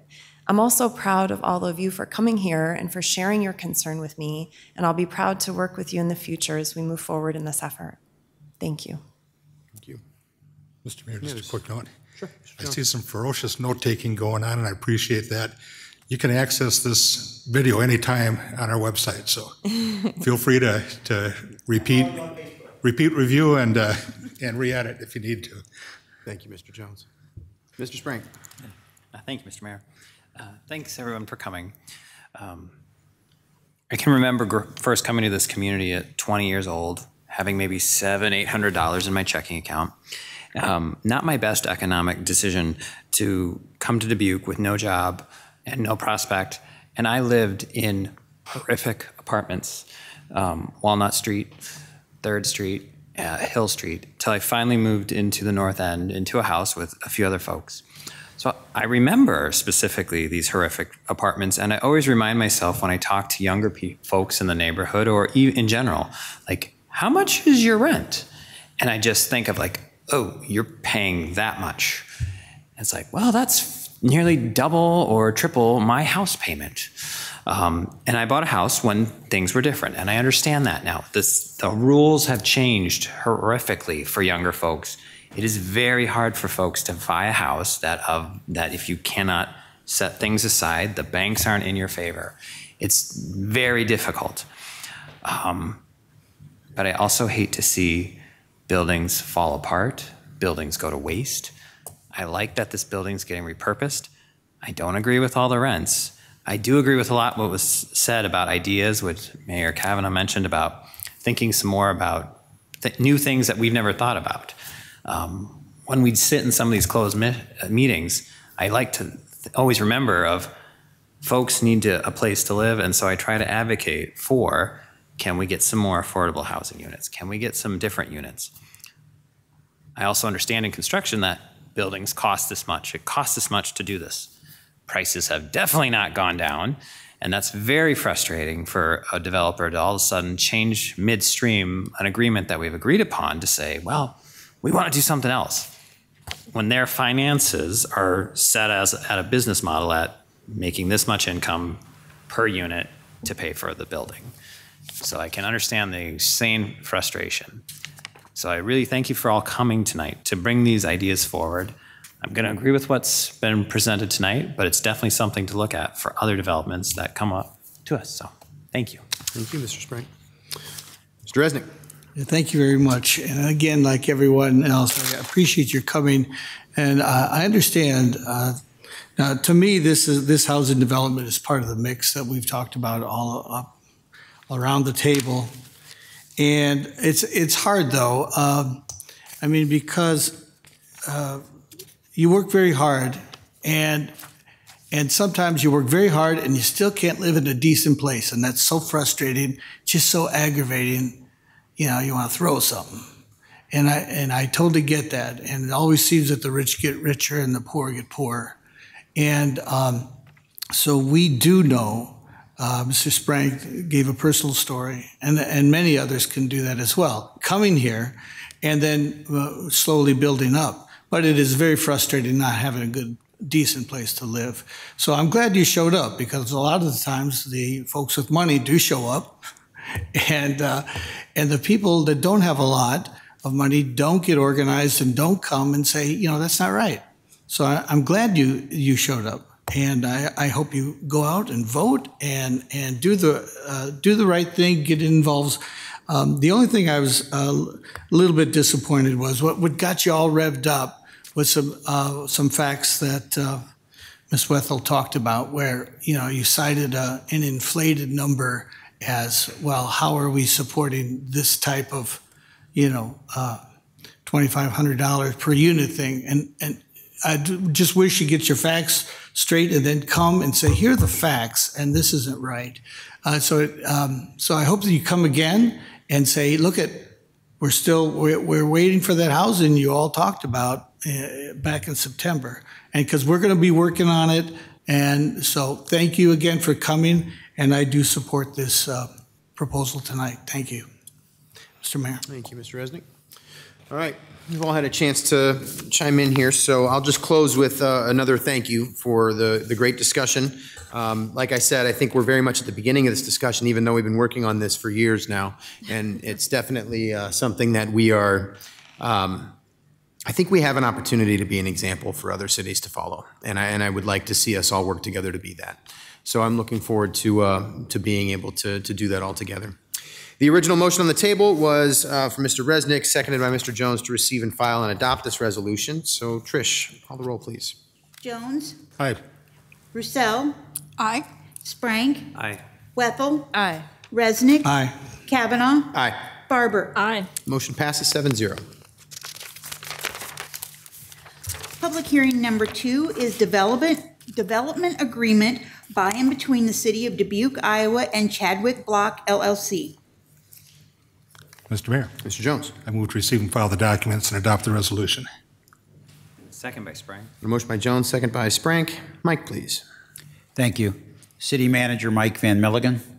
Economic Development Director Jill Connors is recommending City Council adopt the attached resolution approving a proposed development agreement by and between the City of Dubuque and Chadwick Block LLC, providing for the issuance of urban renewal tax increment revenue grant obligations for a project at 249 West First Street. Chadwick Block LLC is owned by Chris Miller. Chris Miller has successfully completed numerous historic redevelopment projects in the city of Dubuque, including 40 to 44 Main Street and 210 Jones Street. Miller is also the developer of 799 Main Street, a previously vacant and underutilized structure that will be rehabilitated to include 36 new rental units. Chadwick Block LLC owns 249 West First Street, and intends to rehabilitate the structure to revitalize the first floor commercial space and create three new, three new market rate rental units in the upper stories. The project will utilize historic tax credits, with the remainder of the funding being a combination of private and public financing. This rehabilitation project is very important to the city because it is right at the main gateway to downtown and is in very poor condition. The difficulties with this project are leading to the recommendation to include a zero interest loan of available downtown rehabilitation funds. Dubuque Initiatives also assisted the property owner with some of the project financing. The key elements of the development agreement include the following. Number one, developer will make a capital investment of approximately $1.5 million to rehabilitate the facility. Number two, developer must create three market rate residential rental units. Number three, developer will receive the new 15 years of tax income and financing incentives. Tax income and financing incentives are estimated to not exceed $168,683. Number four, city to award a downtown housing incentive grant an amount of $30,000 or $10,000 for each of three units. Number five, city to award a downtown rehabilitation loan in the amount of $340,000 at zero interest with principal payments beginning the first day of the first month after a certificate of completion is issued. The entire balance of the loan shall become due and payable not later than the first day of the 72nd month after a certificate of completion is issued. Number six, city to award a planning and design grant, facade grant, and financial consultant grant to not cumulatively exceed $35,000. Number seven, City Dubuque will amend the Greater Downtown Urban Renewal District Plan to accommodate, accommodate the issuance of tax increment financing incentives. The development agreement requires a developer to accept applications for prospective tenants with housing choice vouchers that are otherwise qualified prospective tenants. I concur with the recommendation and respectfully request mayor and city council approval. Thank you, Mike.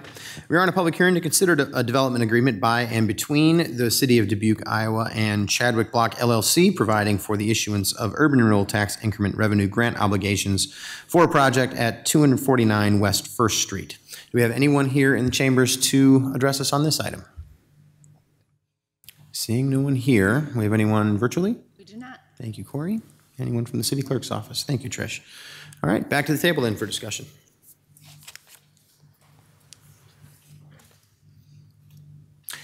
Go ahead, Ms. Farber, Yeah, yeah. I just want to give a shout out to Chris Miller for this um, historic preservation and the uh, reuse of this uh, building. And it is kind of a gateway building for the city as people are coming in off of the highway or on that main street. And so it's um, really, I think, very noteworthy and uh, very much appreciate his efforts. Thank you, Ms. Farber. Yeah, Ms. Wethal. As the um, councilwoman who represents Ward 4, I, I want to say that this building is a building that for many years I drove by and I thought, gosh, I just wish that building looked better. It's one of those buildings that people see when they first drive into this city. And I don't know if anybody's driven by it lately, but I don't think that anymore.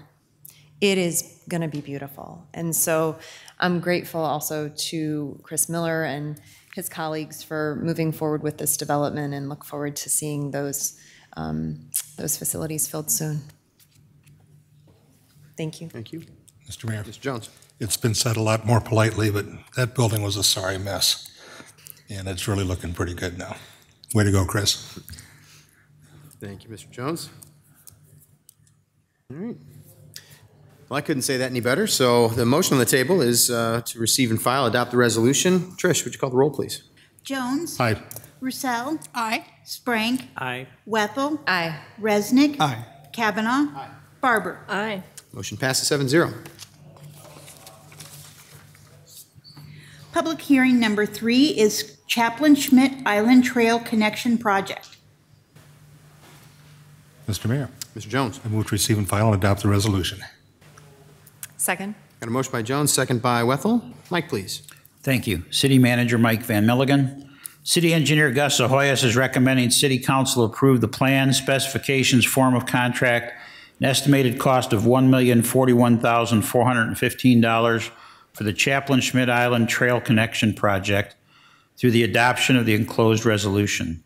I concur with the recommendation and respectfully request Mayor and City Council approval. Thank you, Mike. We are in a public hearing to consider Chaplain Schmidt Island Trail Connection Project, Iowa DOT project number EDP 2100704-7Y31. That was fun to say. Do we have anyone here to address us on this item? Anyone virtually? You do not. Thank you. No. All right, thank you. Back to the table then. I felt like Star Wars there for a second. There were a lot of letters and numbers coming together. I don't know if anybody else felt that way. Maybe I'm just watching a lot of Star Wars lately. Any discussion on this item? Mr. Mayor? Mr. Resnick. I think it's uh, very uh, uh, timely and it's overdue, actually, to get this connected up. We have a beautiful, beautiful Captain uh, Chaplain Schmitt Island, and it's just going to become even better. And I've gone there, but it's it's kind of an old school connection, and you know, it, it, I feel sometimes if when I'm going to the island from the other side, that you know, we, if we can brave the journey across the abyss, we'll make it to a, a great location. That's what it feels like right now. So I'm, I think this will be great, an inviting place uh, for people to come, and uh, it's a, it's a, it's a great place for uh, for families, and let's make it welcoming to everyone. Thank you, Mr. Mayor. Thank you. Very well said, Mr. Resnick. I totally agree with that. Well, I, I, I have to agree. I mean, it's, um, it's a great place to hike and bike Schmitt Island. Already it is, but this is going to be so much better and it's going to help us get there. Um, that's the biggest challenge that we have. So there's some major things in the works to be able to do this.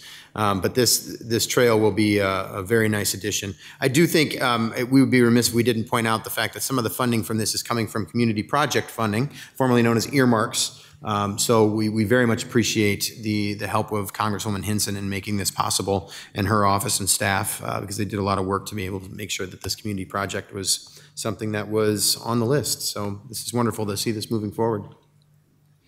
All right, with that, motion is to receive and file, adopt the resolution. Trish, would you call the roll, please? Jones? Aye. Roussell? Aye. Sprank? Aye. Wethal, Aye. Resnick? Aye. Cavanagh? Aye. Farber? Aye. Motion passes 7-0. Next on the agenda is public input. At this time, anyone participating in the meeting may address the city council on the action items on the agenda or on matters under the control of the city council. For all in-person attendees, please approach the podium and clearly state your name and address for the record when the mayor asks if there is any in-person input. For all remote attendees, please enter your name and address in the chat function for the record. Phone participants, please state your name and address for the record when the mayor asks if there is any virtual input. If more than one participant would like to speak, then city staff will determine the speaking order of the participants.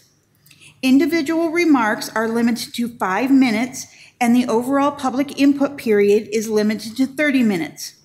Under the Iowa Open Meetings Law, the city council can take no formal action on the comments given during public input or that do not relate to an action item on tonight's agenda. Thank you, Trish. Do we have any public input this evening?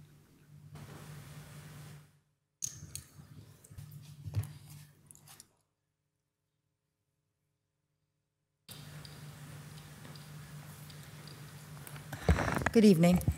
Um, I know two of you. My name is Catherine Sorensen. I live at 2613 Jackson. So I've met the manager several times. Um, of course, my councilman I've met more than once. Um, Comiskey Park is absolutely amazing. Every city needs that template. The, the neighborhood loves it, the children love it. So phase two, um, I would love to see if we can get that rolling. That includes a walking path for the adults, which we need. Um, and two more things for that is trees, shade, and hanging baskets. We, as a community, and I've only lived here three and a half years. So as a community, when I got involved, um, I think we all focused on what the children needed, what the kids needed. And now the adults were like, well, what about us? There's a few things we'd like out of this park right now, and we don't have it. Um, so there's a couple of different things I'm going to mention here. 2600 Jackson. That corner building is owned by the city of Dubuque. That is your lead house. So when people have lead in their homes and they need to vacate their homes, you move them into 2600 Jackson. There is a gorgeous tree in the backyard. I believe it's an oak tree. It desperately needs trimming. Desperately. I don't own a tree. You would not know that come October or November because that tree likes my backyard a lot and a few of the other neighborhood trees. But when the storms come, I get tree limbs, we get everything, and it just needs to be drastically trimmed.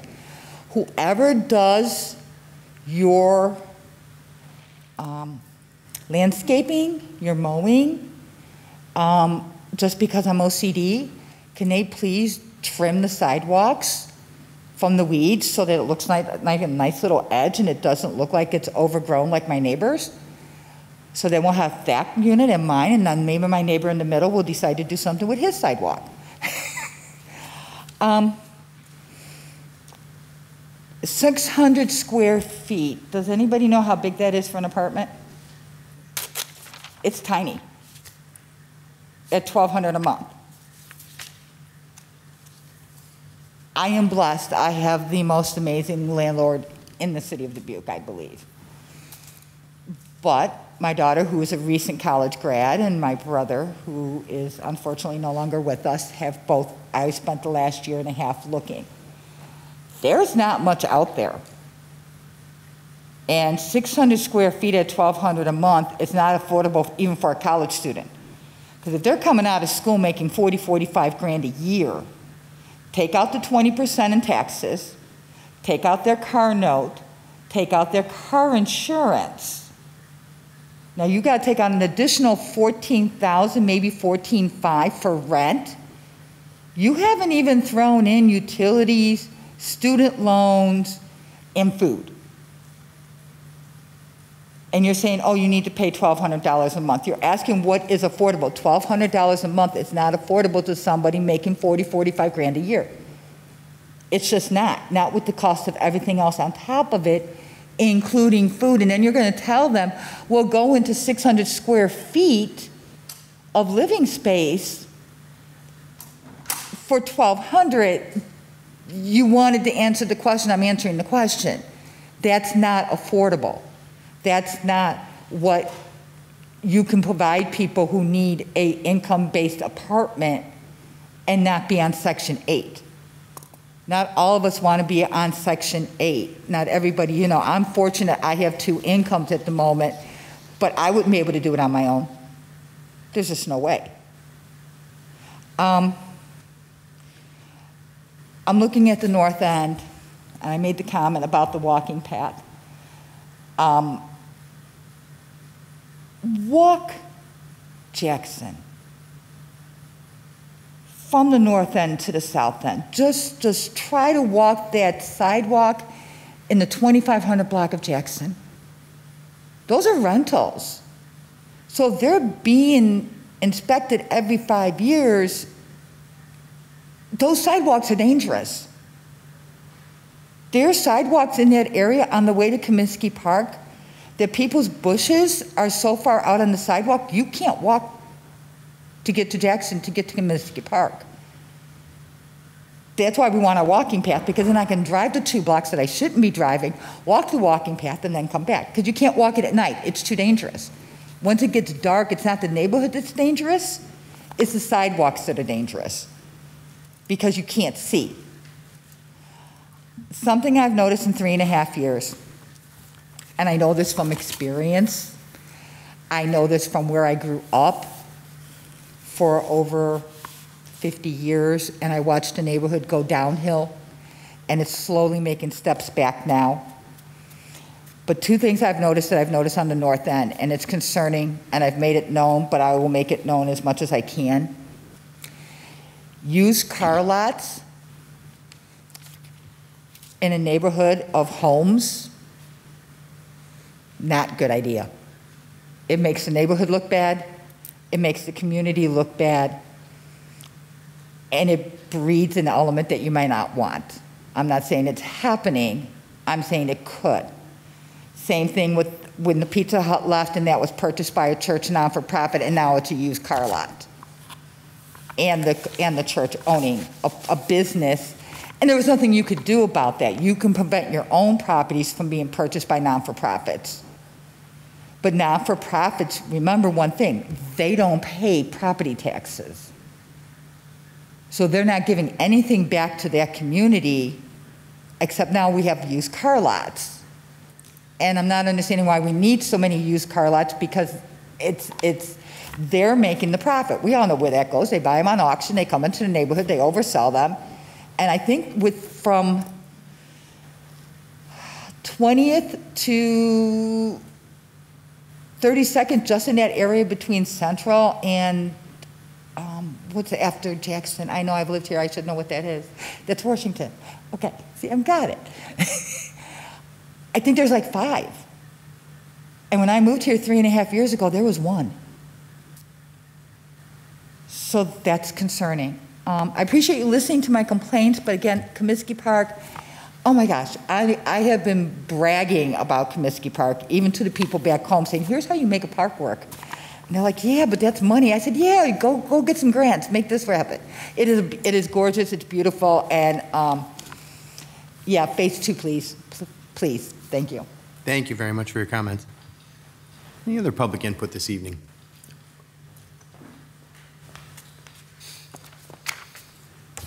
Good evening, Mayor Cavanagh, City Manager Van Milligen, City Council members, and city staff. My name is Julie Frumelt, and I am the owner of Wallou Incorporated at 1685 Central Avenue. My family has, and their business has been on that corner for about 95 years in one form or another. So I just wanted to be here to talk a little bit about the Green Alley project that is finally coming to my back door. We've seen the neighborhood change in a lot of different ways over those 95 years. We've seen the waters rushing down 17th Street and into our plant, and we've seen how some of the Bee Branch uh, activities has alleviated, alleviated that concern. Um, so I've been really excited by what the council and everybody has been doing with regards to the Central Avenue corridor, as well as all the Bee Branch activities. So I just wanted to say thank you for um, taking a look again at my alley. It's been up and down the last, it's been on and off budgets and pre-pandemic, post-pandemic for probably the last 10 years. So I'm excited that I'm finally going to get my alley redone, which will help the drainage and also a lot of issues with safety in our forklift, just unloading pallets and things like that into the plant. So again, just wanted to say thank you, and I appreciate your time and your work and effort on everything that you've done to date. Thank you, Julie, for your comments. Any others this evening?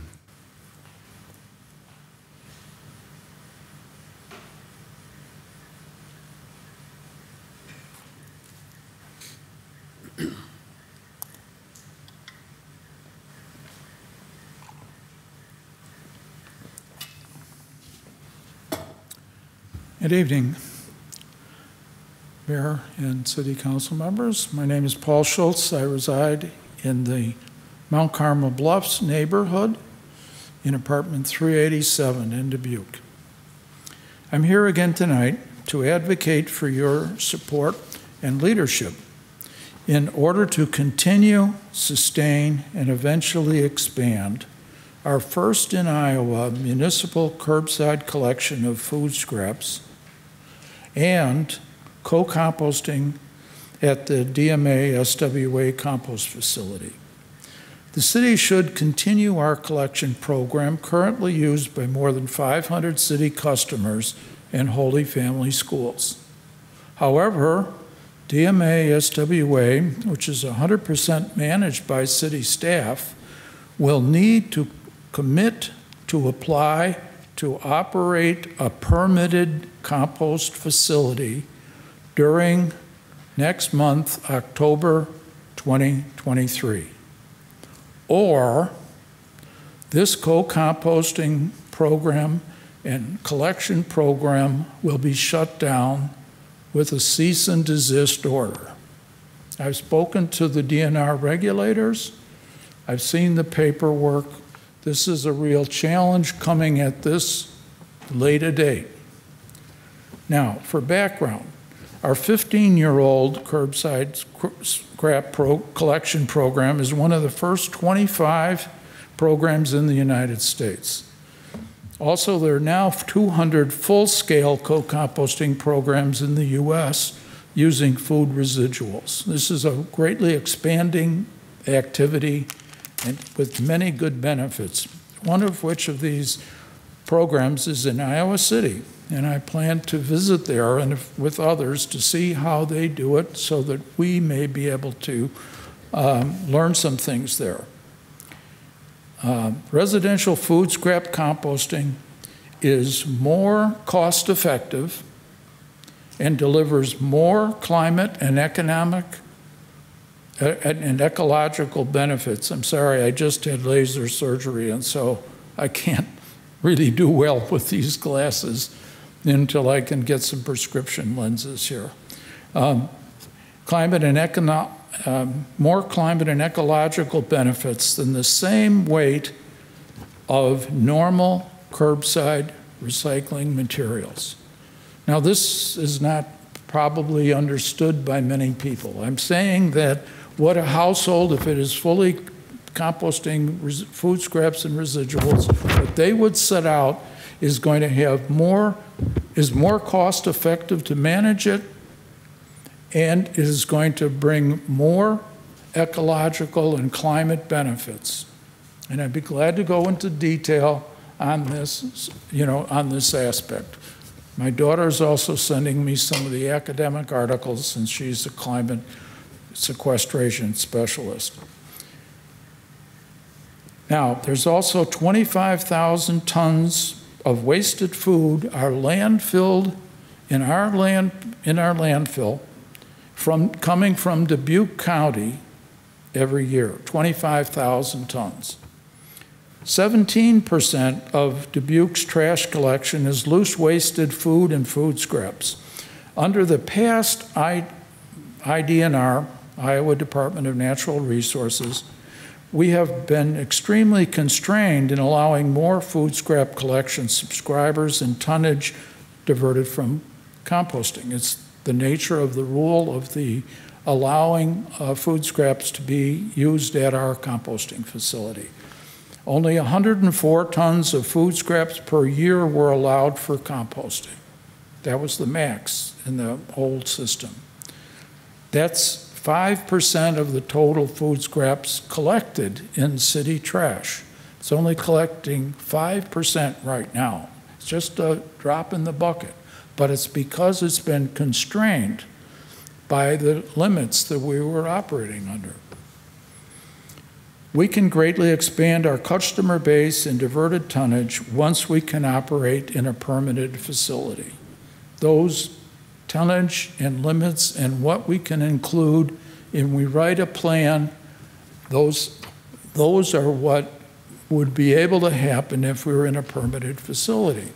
It opens it up, but there's more, you know, some more restrictions in it, yes, and some more cost in it, yes.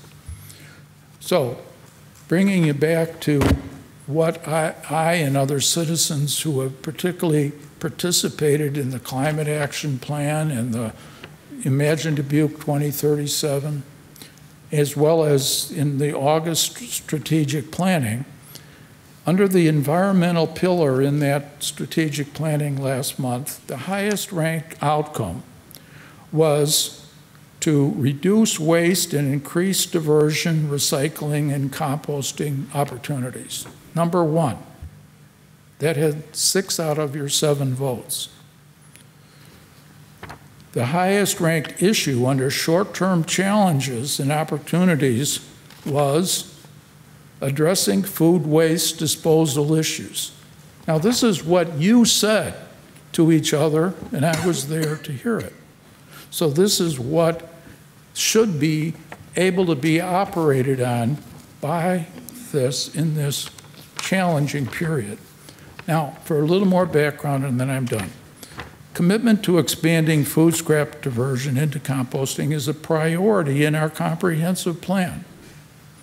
Imagine Dubuque 2037, improve backyard and curbside composting. I'm quoting, expand programs to reduce, reuse, and recycle, including composting work cl closely with DMA, SWA, and interested organizations to expand composting. Develop waste reduction strategies in the climate action plan, such as food scrap composting. These are exact quotes, and these are the comprehensive plan. So you are overseeing that the comprehensive plan is at least being considered. There may be reasons not to, but in general, they should be being considered at some level.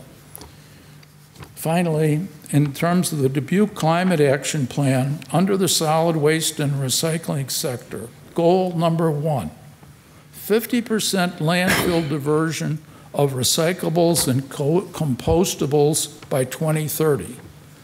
That means that anything that was recyclable or compostables should be reduced in half from what currently is going in. The strategy, number one, 50% food- waste reduction and diversion. City Council role, these are quotes from the document. Request DMA SWA to review food waste handling capacities and permitting limits and expand, update as needed to support food waste diversion and organics collection increases. This is said to be for the City Council and for City staff role. Assess the feasibility of establishing a permitted facility to compost or anaerobically digest organic materials and food waste. This is a quote. So if this isn't happening, I, as a citizen and as former resource management coordinator, want to know what is being done this way. And, and I'm willing to help and participate. I've been a certified compost operator. I've taught in the compost school. I've been composting, I'm not exaggerating, for 50 years. 50. So I'm confident that the city and DMA SWA can overcome the current challenge in getting a permitted facility and then continue to collect and process materials from our customers as we move forward, improving operations and planning for further expansion. Thank you. Thank you, Paul, for your comments. Anyone else this evening? Seeing no one else here, any virtual comments tonight? There are not. Thank you. And city clerks, all right, thank you very much. With that, we can move on to action items, please, Trish. Action item number one is City of Dubuque Park and Recreational Facility Naming Policy Review. Mr. Mayor, Ms. Roussell. I move to receive and file and discuss with council. Second by Farber. Got a motion by Roussell and the second by Farber. I don't believe we have a memo necessarily from the city manager on this, so we'll just bring it directly to us. Um, So obviously, uh, to set the stage, I think we all know where we are. We, uh, we did rename a park.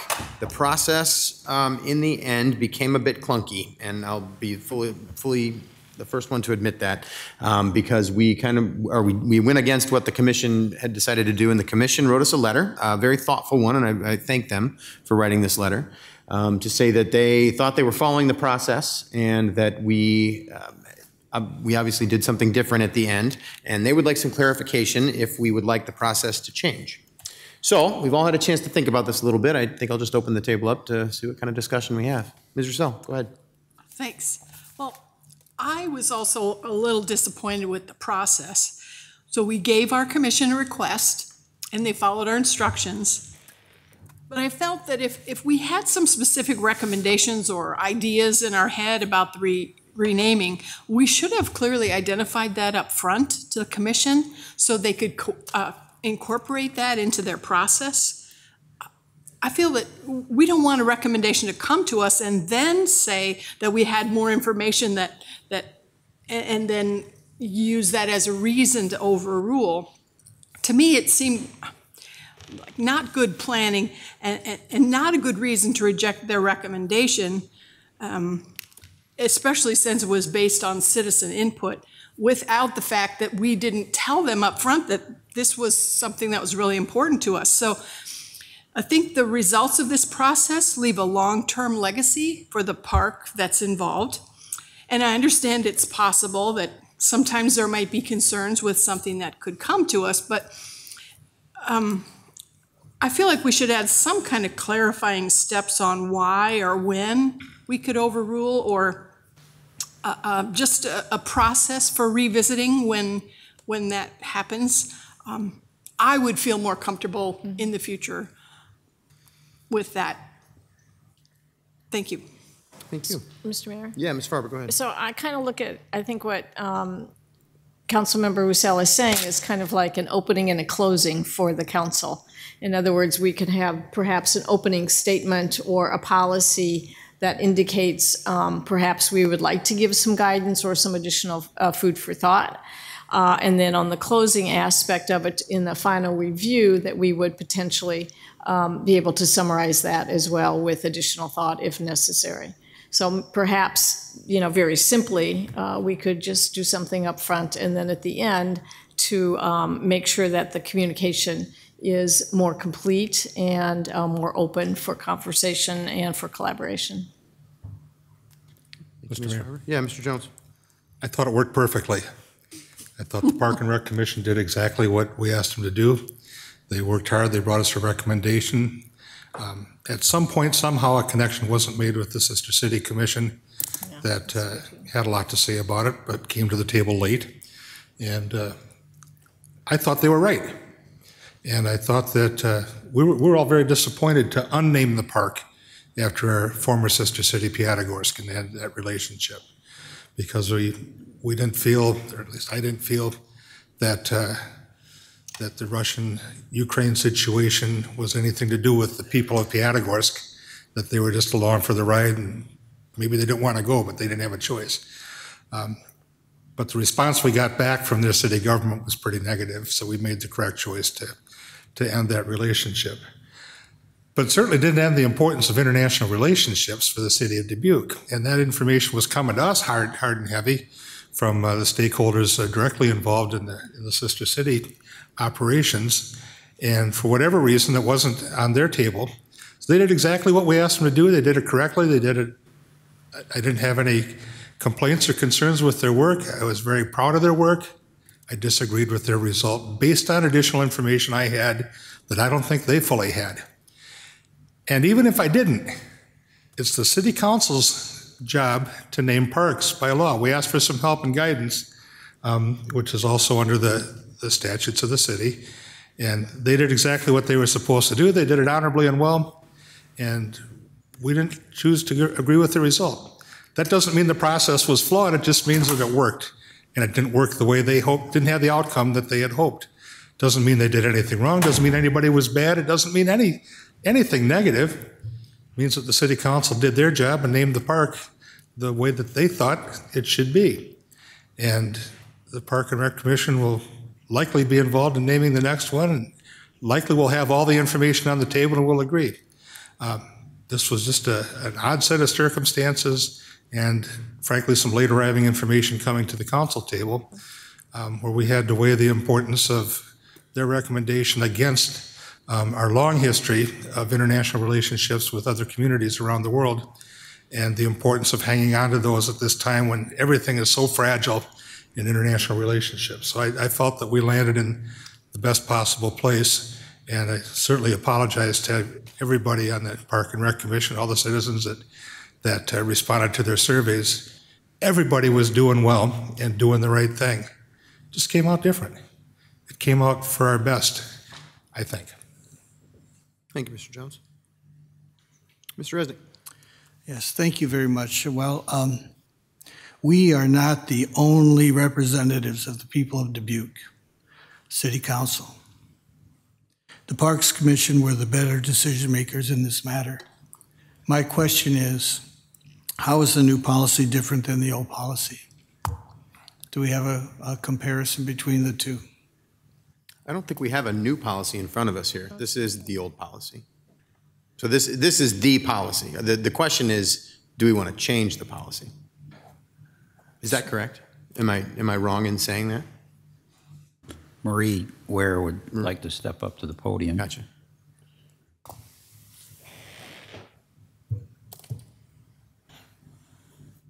Good evening. Marie Ware, Leisure Services Director. Um, The, attached to your agenda items, the um, attachment that says Park Naming Policy 12-3-2018, that is the last policy that you um, uh, passed. And then um, because this was a renaming, and the policy is naming, then the other attachment is the memo about a suggested process that mirrored the naming because it was a renaming. Um, So the current policy that is on the books right now, that you passed, is the one that was in 2018. So if you wanted to make any changes, that would be the policy that you would change. Otherwise, this policy would stand. And this would be like if, and we actually do have two parks that are going to be coming up that we'll be naming because they're right now just called by their subdivision. We haven't actually gone through the process. So this is timely because that's going to be coming up. Thank you Does for the help? information. Thank you, Mr. Mayor. Mm-hmm. Yeah, Ms. Wethal. I take pause in the idea of changing a process, especially in the way that the vote came out, because it, it was not at all a unanimous vote that evening. Um, in fact, if I remember, we had a pretty robust discussion about it. And so I, I personally uh, would feel that I'd prefer to continue to work within this process as it sits. I I did not, I voted to endorse the commission's recommendation, and I don't say that with judgment, that was simply my vote. But in a situation in which maybe we unanimously did something, to me, that would call for more of a policy change or a, a recommendation change on, on how we do this in the future. But we were pretty split on it. We, we had a lot of discussion on it. And so I would prefer to leave the policy as is personally, but I'd be interested to know what others feel. Yeah, Mr. Schmidt, go ahead. Um, Thank you, Mr. Mayor. Uh, Reading the last sentence of it, um, at the subs, it's been a long day. At the public meeting, the city council may consider the recommendation of the commission and leisure services manager in reaching a final decision concerning the request. So I think we kind of followed the Mhm. current policy. We, yes, like, like Ms. Wethal said, um, we didn't all agree. We considered it and we may consider the next naming of the parks. I like the policy of how it's talks about historic people, places, events, individuals living or non-living, major donations of land or contributors uh, of the improvements, the location in such, in naming the relationship to an adjacent street. Those are all kind of things that I think about when, when you name anything after anybody. So I, I like how the current policy sits, so. Thank you. So I- I hear what everybody's saying, and I, and I think they're good points. Um, The, process did work, but the process left everybody pretty frustrated. So I'm thinking that the process might use a little bit of a facelift at least, just a little bit. And I have a suggestion, because one of the things that struck me as we, as we went through this was, I mean, and I think I asked this, you know, and sorry, Marie, I might make you get up again, but if, when's the last time a park was renamed? It was a long time ago, wasn't it? Like, until we took a name away and renamed it. Do you have a recollection in your time in your position of that occurring before? So I've been here 13 and a half years. Yeah. About, um, and it's not, ha- that, this is the only one during my tenure. We Yeah. have named, uh,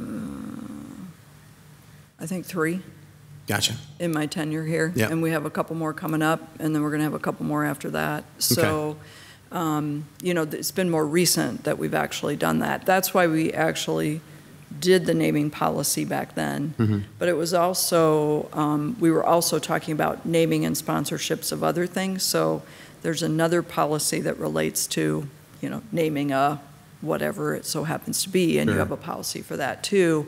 So they were kind of companion policies. We did the one that's more naming of facilities or, you know, like how much of a donation it takes or Mhm. things like that. And then we developed this separate one that was actually specific to parks. Got Mr. it. Mayor? Yeah. Well, yeah, we- go ahead, Ms. Farber. What are the parks that were recently named? Because I- um, Creekwood and um, Eagle Valley. And those um, are the names? Are two of the, yes. And both of them, they chose, uh, or they recommended, and then you approved. So Creekwood is on Creekwood Drive, Mm-hmm. and Eagle Valley is on Eagle Valley, is it Road? I can't remember. And it's also the subdivision name. Okay, thank So you. that was what was chosen at that time.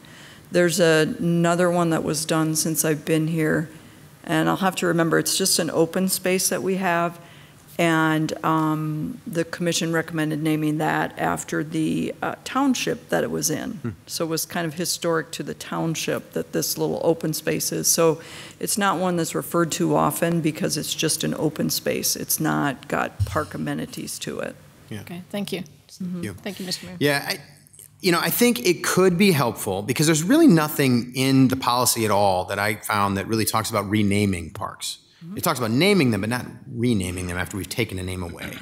And, and it might be useful. Um, if you look at the policy, there's a, a guiding principles in number one, and there's an A, B, C, and D subdivision underneath there. And, and I think um, I think it could be useful potentially to have an E that says something to the effect of if a park is being renamed, the commission should take into account the original purpose and intent of the park's most recent name. That's basically what we ended up voting on. And, and, and if you do recall that conversation, it was, it was a challenging vote. Um, and I, I remember it well because it landed with me in the middle. So I, uh, I think that I think it could be useful to add some sort of language like that that would allow the commission and, and residents to take into account that if we're taking a name away, we named, somebody named that park that name for a reason. And in this case, it was because of our ties, as Mr. Jones pointed out, our ties for sister cities, and in this case, a particular one. Um, and I think we've learned a lot through that process, but, I, but it also, I think, could be a useful tool to use um, that would help help residents and the commission and us in the end decide uh, what you know if, if that's something that we'd want to move forward with. So, what are what are thoughts on that? I'm seeing heads nodding and thumbs upping. Okay, okay, um, okay. So, Marie, do you have a suggestion or thoughts on this? I mean, I know you'd have to bring it back in front of us to officially Right. do that, correct? Yeah, um, so, um, two different things. Obviously, we can bring something as staff directly back to you. Mhm. On the same token, I could have the commission watch your conversation here, talk about what, um, because the policy that you have, they reviewed that and recommended. So Mhm. in 2018, before we brought it to you, they reviewed and recommended it to you. It could be the same process where now we take this conversation, have them watch it, as well as then look at, okay, what, what might be a possibility to be able to add to that? Sure. If I remember right, I think in the naming of facilities policy, there might be some wording in there that was used because in the naming of facilities, if you think about um, some individuals that maybe got into um, some nefarious acts or things like that, where the building was named after them, they take that off. And so I remember when we did that policy, we talked about that. Would we want to have that? So I believe there might even be some language in the other policy that might be appropriate to what you're talking about. Sure. Okay. Um, and I'm not saying nefarious is the only thing, but in Right. whatever the renaming issue became. Yeah, there are many reasons for renaming, and this was this happened to be one of them that we ran into. Mhm. Yeah. Yeah, and, you know, sometimes renaming is just people come forward and they'd like to have it be named after a, a very historic person or, you know, something like Mhm. that. So those are things that happen in other cities. Okay. Yeah. All right. Well, it looks like we have general agreement here on moving forward with that direction. Does that give you the direction that you need to take back to Yeah, the I mean, as long as that's okay with everyone, I can take that. Um, We can work with that and bring it back to them and then um, bring it back to you to see if that looks like it or whether we go back. Uh, Because sometimes we've done that on other issues too. Mhm. um, that are um, sometimes sticky or a little more in-depth, like when we did the Pets and Parks one. Mhm. We were back and forth several times Yep. to be able to get what is the right thing. Great. Well, thank you very much for doing that. We appreciate that. And and I, I, know, I think I speak for all of us when we, we appreciate this conversation because it is it was a new thing for all of us. We kind of had to in a way, we had to muddle our way through it as a community. And uh, as, as Mr. Jones pointed out, this wasn't something we really enjoyed doing, having to rename this park in this way. So I thank the commission for their work on this. Uh, I'm glad that we we have them. Um, Mr. Resnick, you made a really good point. You know, we aren't the only ones that represent the, the residents of Dubuque. We have commissioners that do that very well, and, and we do need to hear their voice, and I appreciate them reaching out in this way. Great. Okay. Thank you all very All right. much. Thank you. All right, well, the motion there was to receive and file, refer that to council for that discussion. So Trish, would you call the roll, please? Jones. Aye. Roussell. Aye. Sprank. Aye. Wethal. Aye. Resnick. Aye. Cavanagh. Aye. Farber. Aye. Motion passes seven zero. Action item number two is City of Dubuque COVID-19 After Action Report Summary. Mr. Mayor. Ms. Jones. Move to receive and file and see the presentation.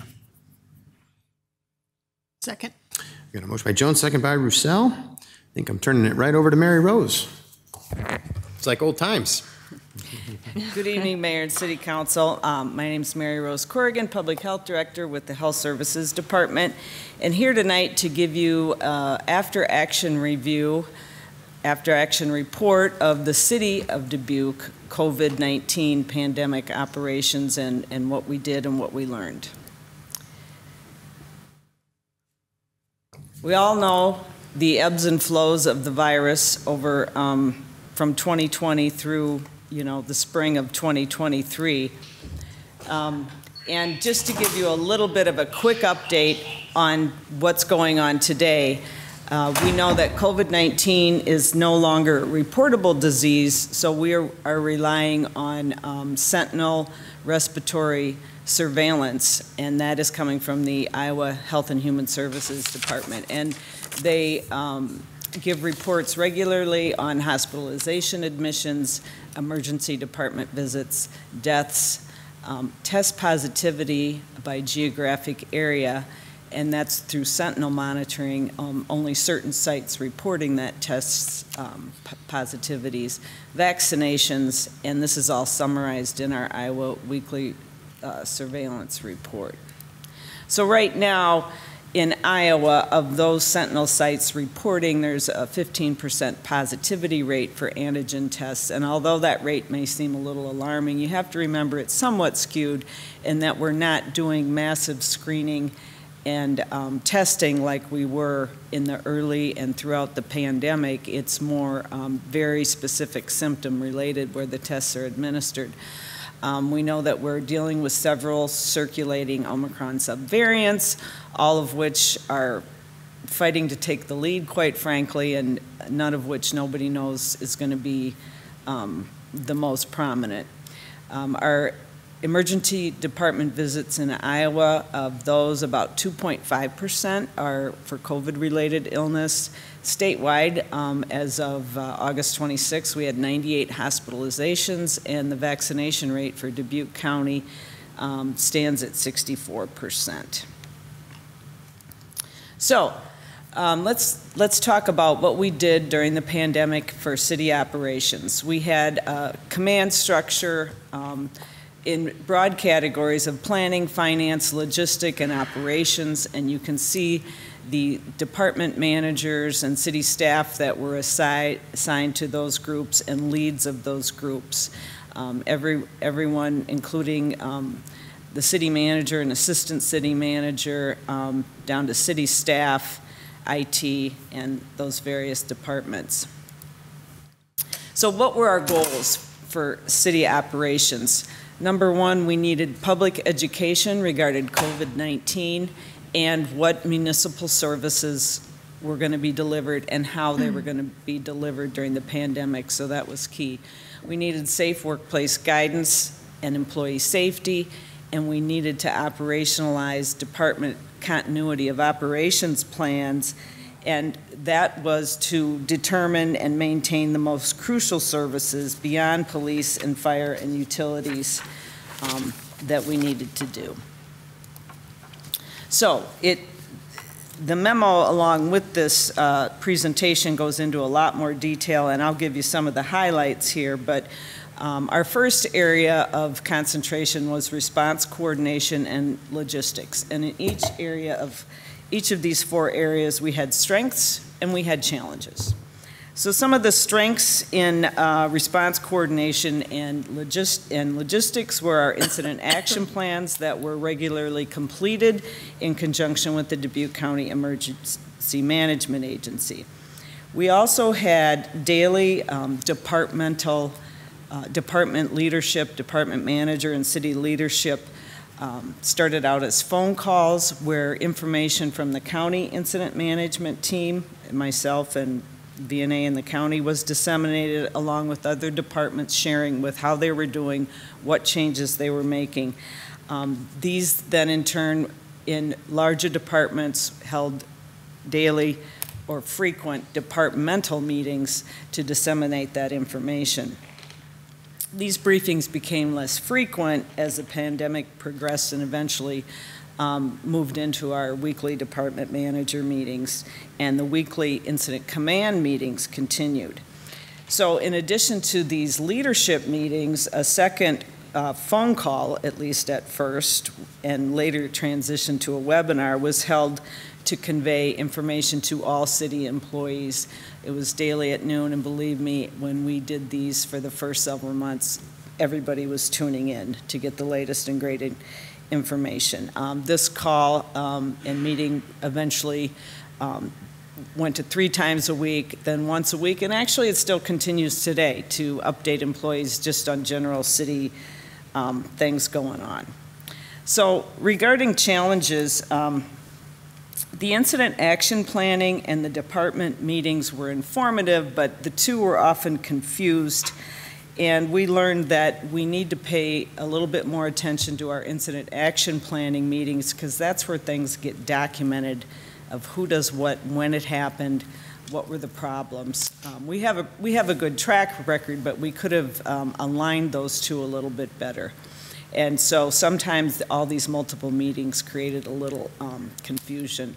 Also, the enforcement of uh, public health countermeasures you know, our mask um, requirements, business closures from the state proclamations.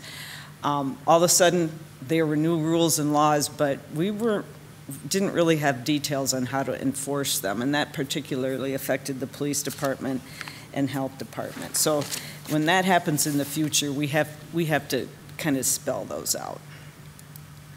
This is an example. This is our first press briefing, and this was a, a county-wide response, but it, it's kind of when the uh, citizens became aware of who was in charge. We, we showed city and county working together, um, elected officials, health officials, and uh, we, we probably needed to disseminate that information to employees a little more clearly. You know, even though we're all supposed to have uh, emergency FEMA and NIMS training, um, we all need reminders. We had, um, the other focus area was workplace modifications. So uh, a lot of workplace modifications. Some, some examples of those kinds of things were the fire department um, assisting with COVID-19 vaccinations and transferring patients and um, helping with the uh, isolation and quarantine shelter. Um, the City Information Services Department, now the IT Department, um, facilitated the internet access and setting all that up at the POD um, Vaccination Center at the mall and the Grand River Center. The Finance Department creating different codes um, to account for COVID related emergencies. Our Sleeves Up campaign, where all kinds of di different city staff staffed a phone line for citizens to call in. They also helped with the clinics and um, neighborhood information dissemination campaigns. The, here again, we did have some challenges. Um, although it is not unusual, um, and one of those is around information technology. So it's not unusual for the Information Services Department to create infrastructure for various departments. This is normally done on a much pre-planned process. Um, software needed for vaccination clinics um, would normally be done with a process determining needs, creating a request for proposal, evaluating it. Due to the limited number of vendors, um, and this, this whole process was done in a very compressed time frame. Um, the fire department asking to assist with multiple requests that would normally be considered outside the scope of the department proved to be both successful and challenging. And managers and supervisors did not have the tools or processes to track productivity of those working from home, and some departments reported working from home as a disruption. And then also, we had to consider maintaining morale and uh, motivation as we were all separated, working remotely, working uh, with much distance between all of us.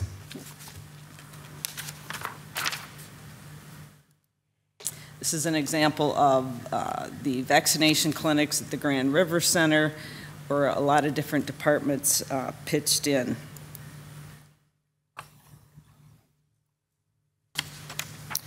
Next uh, area of focus was safe workplace guidance and employee safety.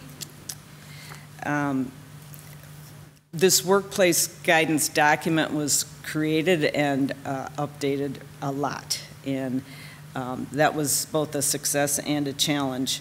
Um, we were we were um, thinking ahead in terms of our supply purchasing because we knew there were shortages going to be happening, so uh, safety supplies for employees. Um, our field and out-of-office procedures were modified. For instance, um, the police department didn't do all of their um, requests for service in person. They often made phone calls to problem solve and help citizens. When the fire department was called, the uh, communications center uh, questioned employees about the nature of the call if there were people at that household with COVID-19 systems, symptoms. Um, the city attorney's office regularly had to interpret the uh, state, state and federal proclamations and develop public health um, emergency language that um, fit our needs and the citizens of Dubuque.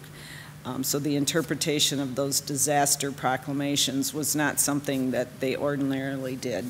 Of course, our alternative um, work arrangements, the good thing about this one was prior to um, the pandemic, the Human Resources Department was exploring alternative work arrangements such as working from home, um, flex scheduling, and all those kinds of things. And then those were um, quickly Im implemented and proved to be very helpful during this time. And human resources also had to um, continually modify policies related to testing, sick leave, other uh, OSHA guidelines. Um, another strength was our virtual meetings somewhat increased productivity and decreased waste, and staff did become proficient with a variety of virtual meeting platforms. Uh, the challenges. Um, police and, and, fire had numerous challenges in their work, um, workplace practices. Um, for one, for instance, the police shared space, share space with the county sheriff. Their policies and procedures um, were not consistent with each other, so that made it a little bit, a bit hard in the same building. Um, the fire department's close physical proxim, proximity when they work in their firehouses and having to mask all the time, including when they were sleeping. That was challenging. Along with um, fire, they're not only fire department, they're healthcare, and so they have to look at the proclamations, the CDC guidance, OSHA guidance, and other um, healthcare related guidance, often which was conflicting and um, sometimes difficult to interpret. And also the division between non-essential and essential employees and their different work environments was challenging from a departmental work production standpoint and from an employee health and safety standpoint. Um, and human resources did a great job uh, along with our um, the planning committee to continually modify those workplace guidances. Um, another challenge was our employee vaccination requirement and um, it was challenging in terms of educating the employees to understand the vaccine, its risks and benefits, uh, the confidentiality for creating a system for tracking that, and also interpreting some of the vaccination records um, was challenging. Um, we all know how important public information and outreach, you know, was. Um, I went over these, a few of these in our April um, report on our countywide response, but the city's public information and outreach was um, the envy of other communities, quite frankly, and uh, worked both, you know, in terms of community-wide and city-specific operations, and then internally, helping with those communications also. And finally, our fourth area of focus is our city continuity of operations. So some of the strengths, um, the city attorney's office and other departments immediately began um, implementing flexible work arrangements, social distancing, and um, we had to evaluate how city functions could be maintained remotely while still adhering to state law and regarding transparency. Um, Information Services took measures to ensure the city employees had the technology and functionality to re work remotely. Approximately 180 um, computers we had that were outdated were redeployed to uh, city staff to work at home. Um, Information Services had to develop a different kind of system for IT assistance to employees. Um, we had to develop technology and processes for holding public meetings, as you know, remotely and make sure we were compliant. And we had to circumvent the supply shortages, um, you know, order more than higher number usual of supplies. An example of using of our continuity of operations plan was my own department, the health department, um, took one of the third tier uh, response things we do in our daily work is nuisance complaints and uh, nuisance enforcement. We gave that over to housing. We just couldn't handle it, and, and their department handled it for us. So we were still able to maintain that service, just not done by us. And then the City Public Information Office um, doing uh, information daily for employees in the county. This was not without um, you, various challenges regarding continuity of operations. Although efforts were being made to uh, develop continuity of operations plans for every city department prior to the pandemic, not all of them were complete, and most and uh, quite a few departments realized they weren't as detailed as they should be. So um, that's an ongoing process of updating and refining those. Um, the Information Service Department advised that ensuring that all city departments had the resources necessary for working virtually was monumental. And they advised that all it was assumed that most people had a computer or internet at home. It was quickly determined that there were many that did not. Um, and we also had security issue for working from home that we had to um, work around finance had a lot of challenges regarding going paperless in a, in a sudden um, moment, workarounds, um, logistical mail, bills, checks, transferring those things, and then also just dealing with general misinformation as the general public had to deal with. So what are we going to do with all this information? Um, we have a city preparedness committee, um, which consists of myself, um, Tom Berger, our emergency management coordinator, Jeremy Jensen, police chief, Amy Scheller, fire chief, Mark Murphy, our new environmental sanitarian and public health emergency preparedness planner, and Cori Burbach, assistant city manager.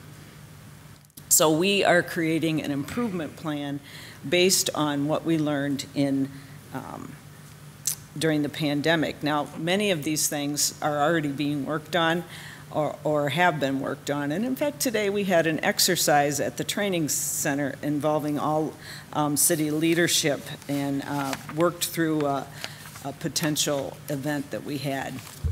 So we're going to work on um, developing incident action plans and um, our continue working on our continuity of operations plans.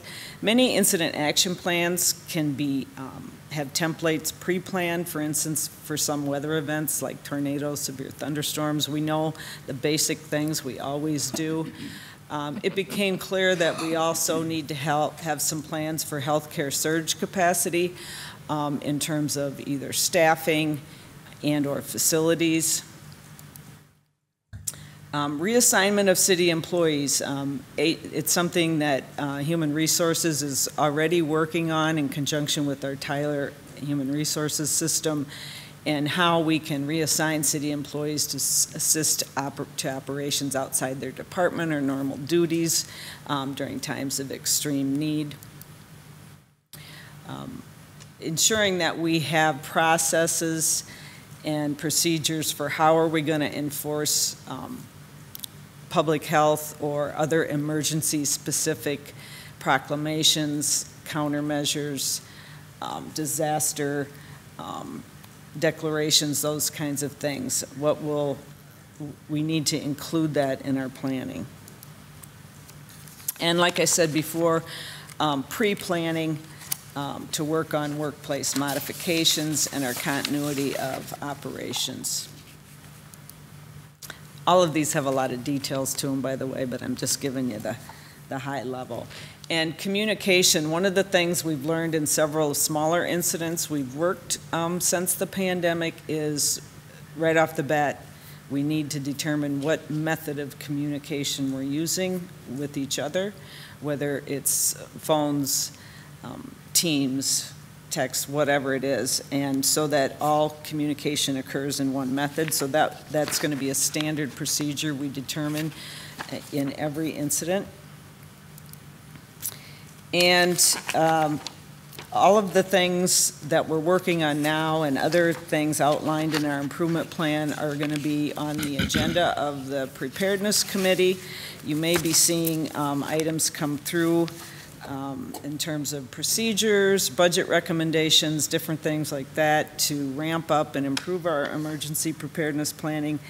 And uh, as I said earlier, this presentation and report gave a high-level overview of actions, policies, and activities that occurred um, from March 2020 through spring 2023 by the City of Dubuque organization. It does not do justice to the hard work and dedication of city employees and policymakers, including yourself, during this time. And we, um, the Preparedness Committee and City Management will continue to work on refining and improving our plans and capabilities. And um, on behalf of us all, I'd like to thank the Mayor and City Council for your support during this historic time. And that's all I have. And by the way, um, last, I believe it was April, um, you asked for a COVID update in October, and I'll be um, giving that to you with the latest and greatest news we have at that time. Great. Thank you, Mary Rose. You know, I just, what you said there at the end, I think is, is really important in this whole, this whole uh, report is that uh, there was so much work that went into this process, not just during the pandemic, but now after. And I think it's really important that you were here to be able to tell the entire community that we are not just going past this and saying, okay, it's done, it's over and done now. We're learning from this. We're learning from what went well and what went not so well and how we can make improvements in the future. So I very much appreciate hearing this report. Any questions or discussion? Ms. Farber? Uh, Mary Rose, there's an inordinate number of people that I know that have COVID right now. Um, Is there any indication or any general thoughts you might have to share with us in the community about? It seems as though uh, there is an uptick, and that that is reflected in our weekly weekly uh, respiratory surveillance report. Um, We have to be reminded that um, the immunity from our vaccinations and/or from having illness is waning. It's not as effective.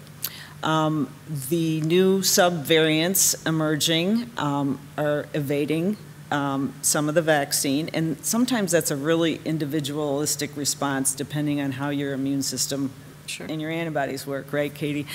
Um, So it, it can get kind of complicated in that manner.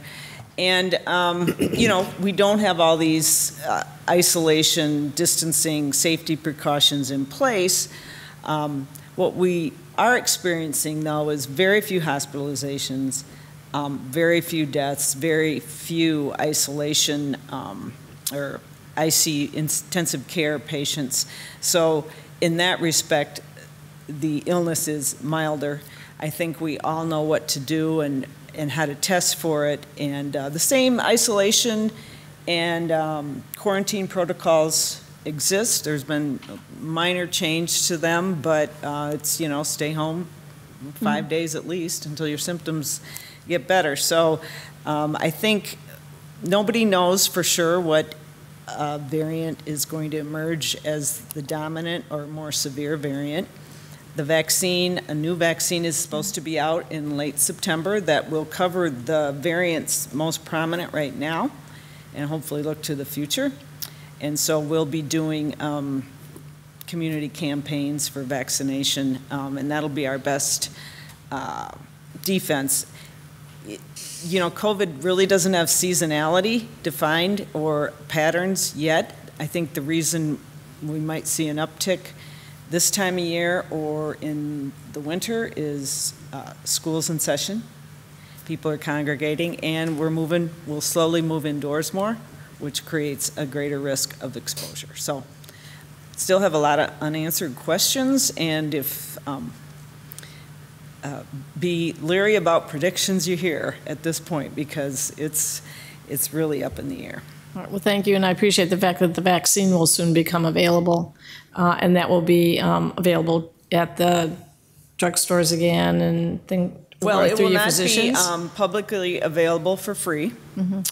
Um, It's up to insurance companies um, to cover it. Um, We know our Vaccine for Children's program will cover it, and most likely um, Medicare, Medicaid kind of services. Um, So it it will be um, privately um, dispensed and dispersed. All right, thank you very much. Thank you, Mr. Mayor.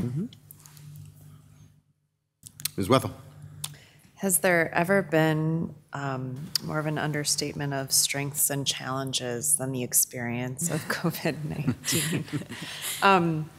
I really appreciate the update. It made me personally reflect back too on just what our community has done and how well we worked and how we can um, continue to remember what that was like so that we can build working documents so that honestly, even if it's 10 years from now that we encounter something in a similar way, and I hope it is at least that long, if not longer, but you know, maybe I wouldn't be in the workforce in the same way to mentor people who are younger than me to tell them about the experiences and what we've done. I will tell you that as I swab people now, it's a lot less scary than when I swabbed the first one. And we all have that in a certain way, no matter what your role is right now. Whether you um, work as a frontline worker in a grocery store and you had to do that during a pandemic, or you were working trying to navigate a response process. So kudos to the debriefing and to the continuing to say, okay, now how do we remember what worked, what didn't work? Um, I just think the idea also of things considering healthcare surge capacity for workforce, you know, as a community, that's our responsibility too, to work at creative ways that we could support our local um, uh, institutions of higher learning in creating a workforce of healthcare in which there's an incredible shortage right now. Um, no matter what that healthcare role you would play, what role we can play as a community, our non-for-profits and private investment and municipality investment and trying to create relationships to nurture those educational programs in our community because those will be the next folks that would need to take care of this. And right now, we don't have enough of those folks. So um, I, I applaud you and all your efforts then and, and now. Thank you. Mr. Mayor. Mr. Jones. Just, just a quick commercial here um, from an old guy who likes being alive. Um, there are three vaccines you ought to be seriously considering this fall. Um, of course, COVID, um, influenza that can kill you pretty bad, um, and a new one, another breakthrough that is kind of an offshoot of all the research with COVID. We've got a vaccine that seems to be viable now for RSV, which can be a pretty nasty infection. And I'd much rather have the shot than the illness. And I guess if we didn't learn anything else during COVID, I hope that we learned that if you're going to be around sick people, if you can put a mask on, maybe you won't be joining them.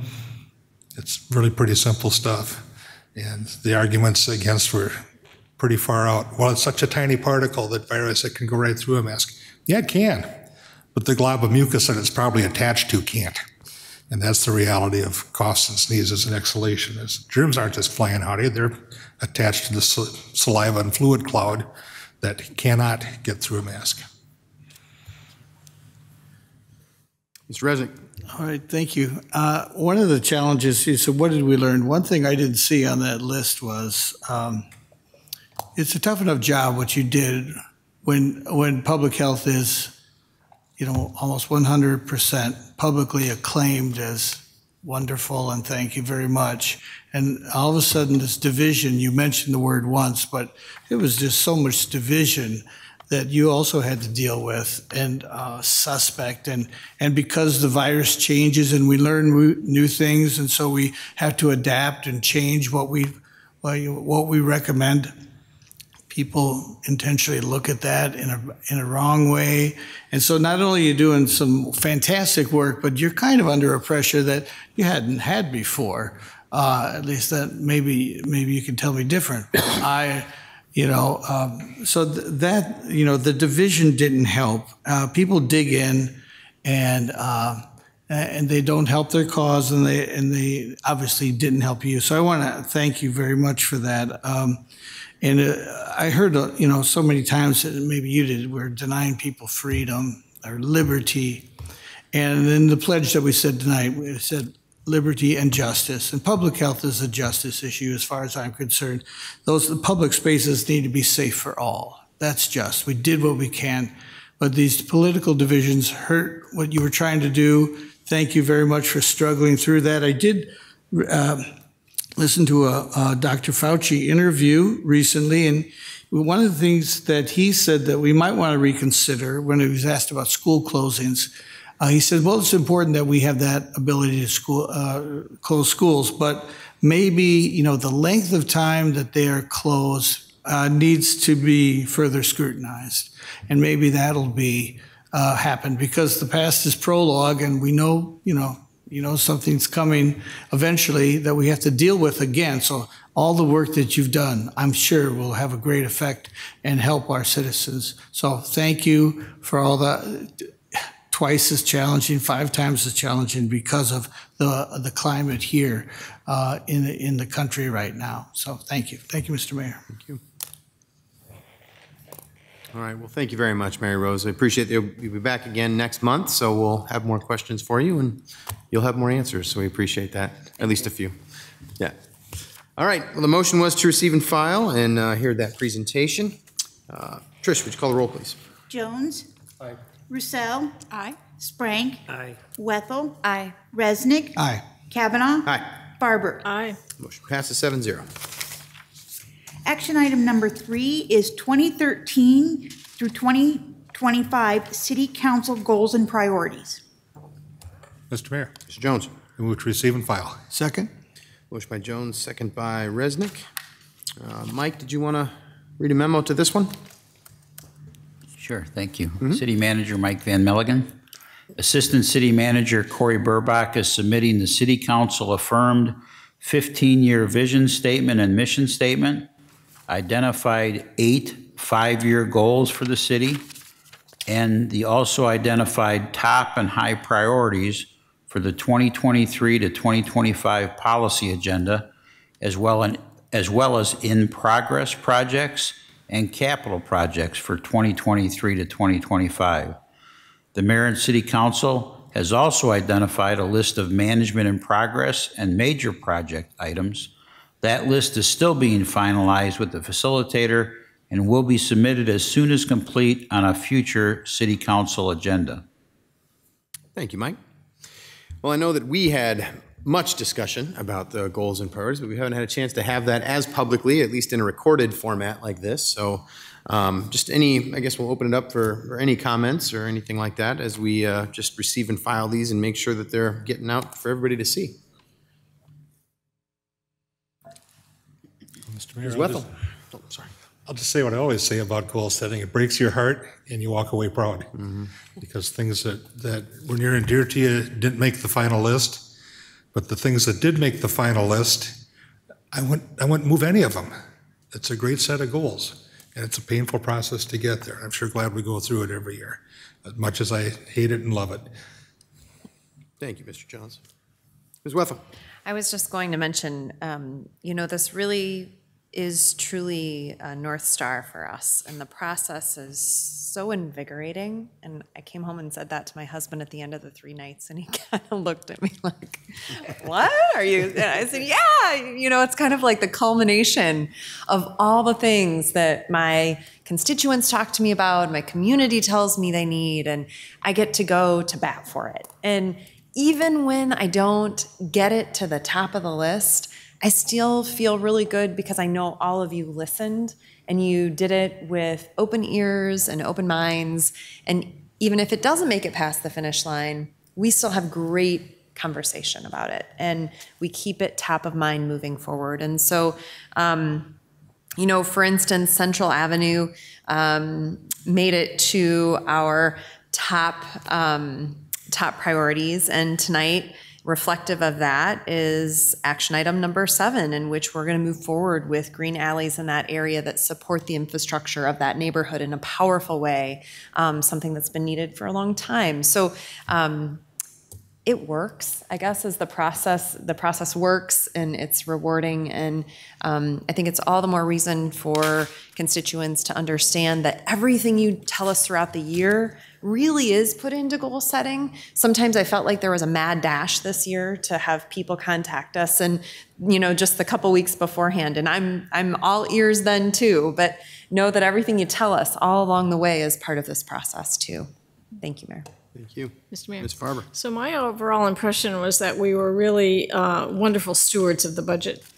And um, as you had mentioned in opening statements, Mayor, it was important for us to realize the projects that we have ongoing and then the funding that perhaps may end in a year or two from the federal perspective.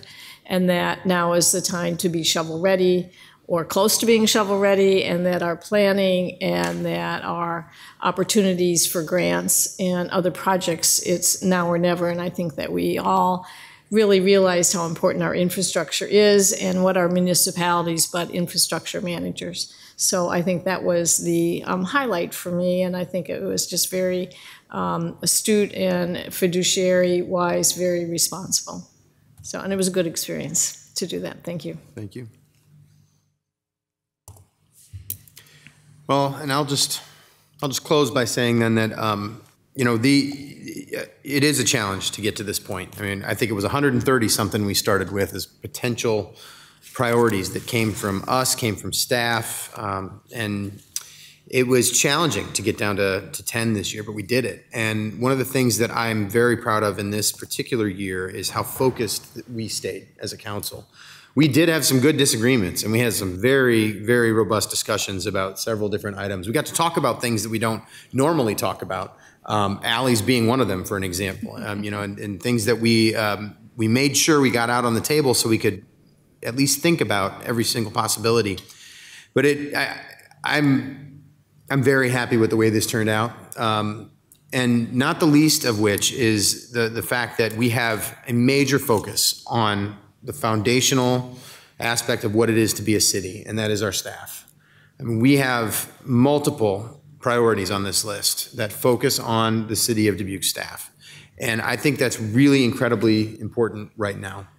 Um, we've we talked already tonight about workforce. We've talked frequently about the challenges in finding workers, the challenges in retaining workers, and cities across the country are dealing with this. Cities across Iowa are dealing with this, and we have prioritized this for the city of Dubuque.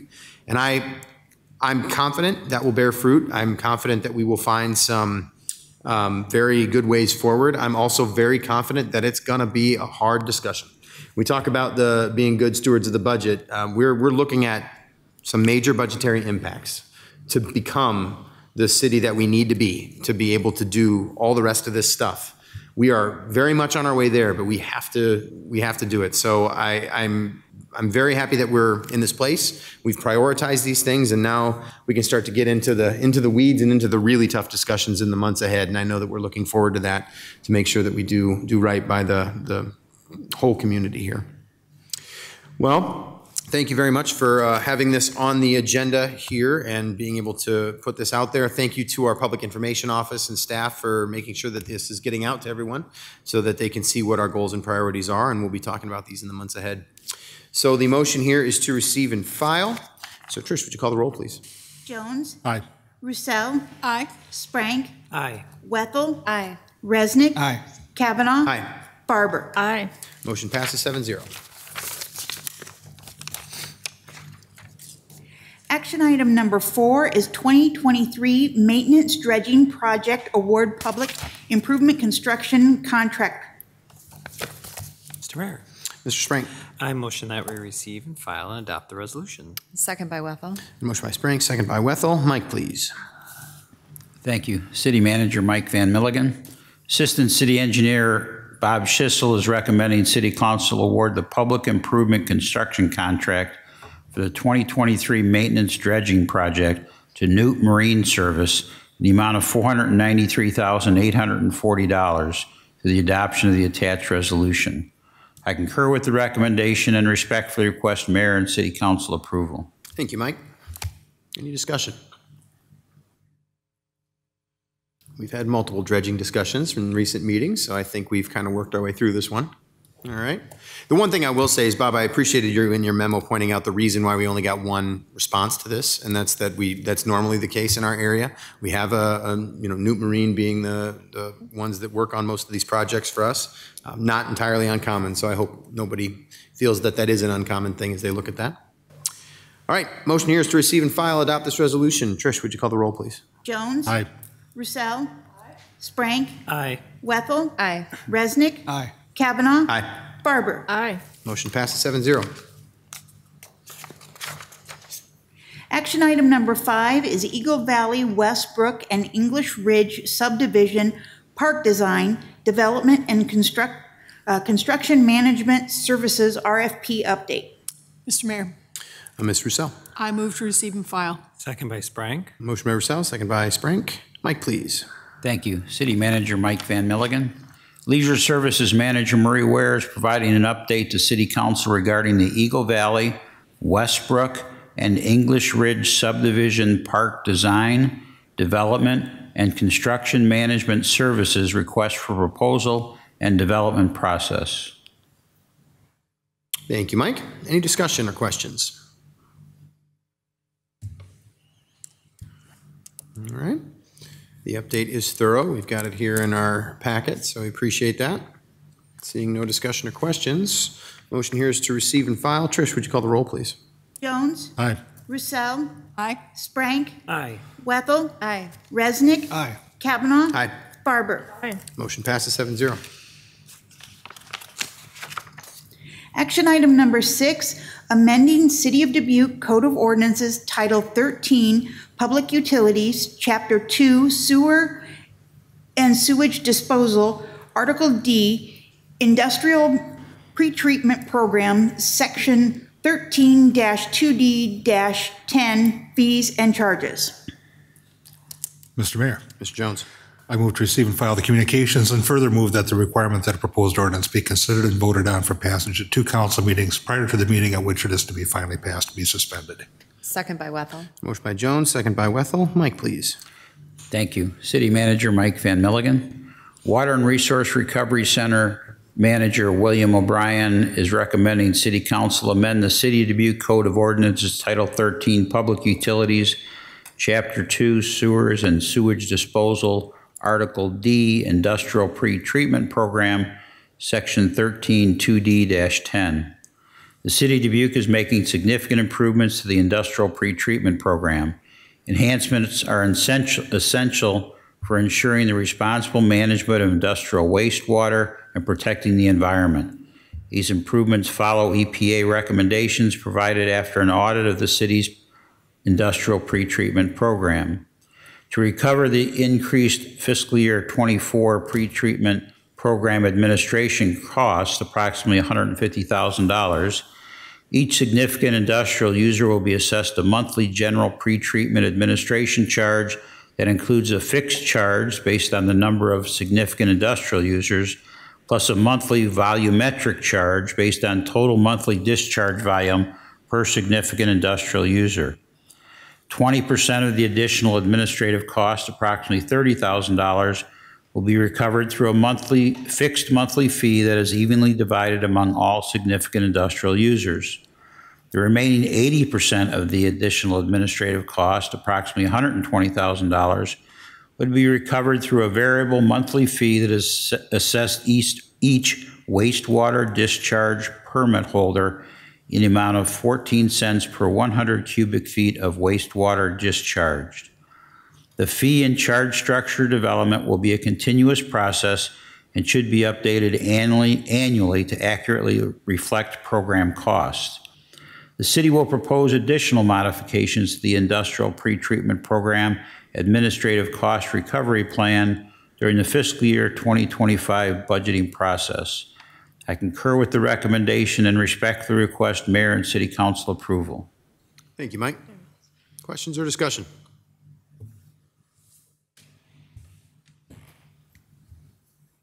All right.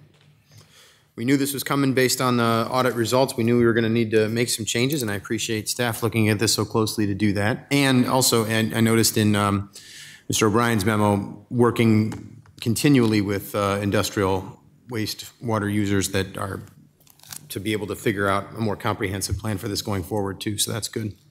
Okay. Motion here is to receive and file, waive the three readings. Trish, would you call the roll, please? Jones? Aye.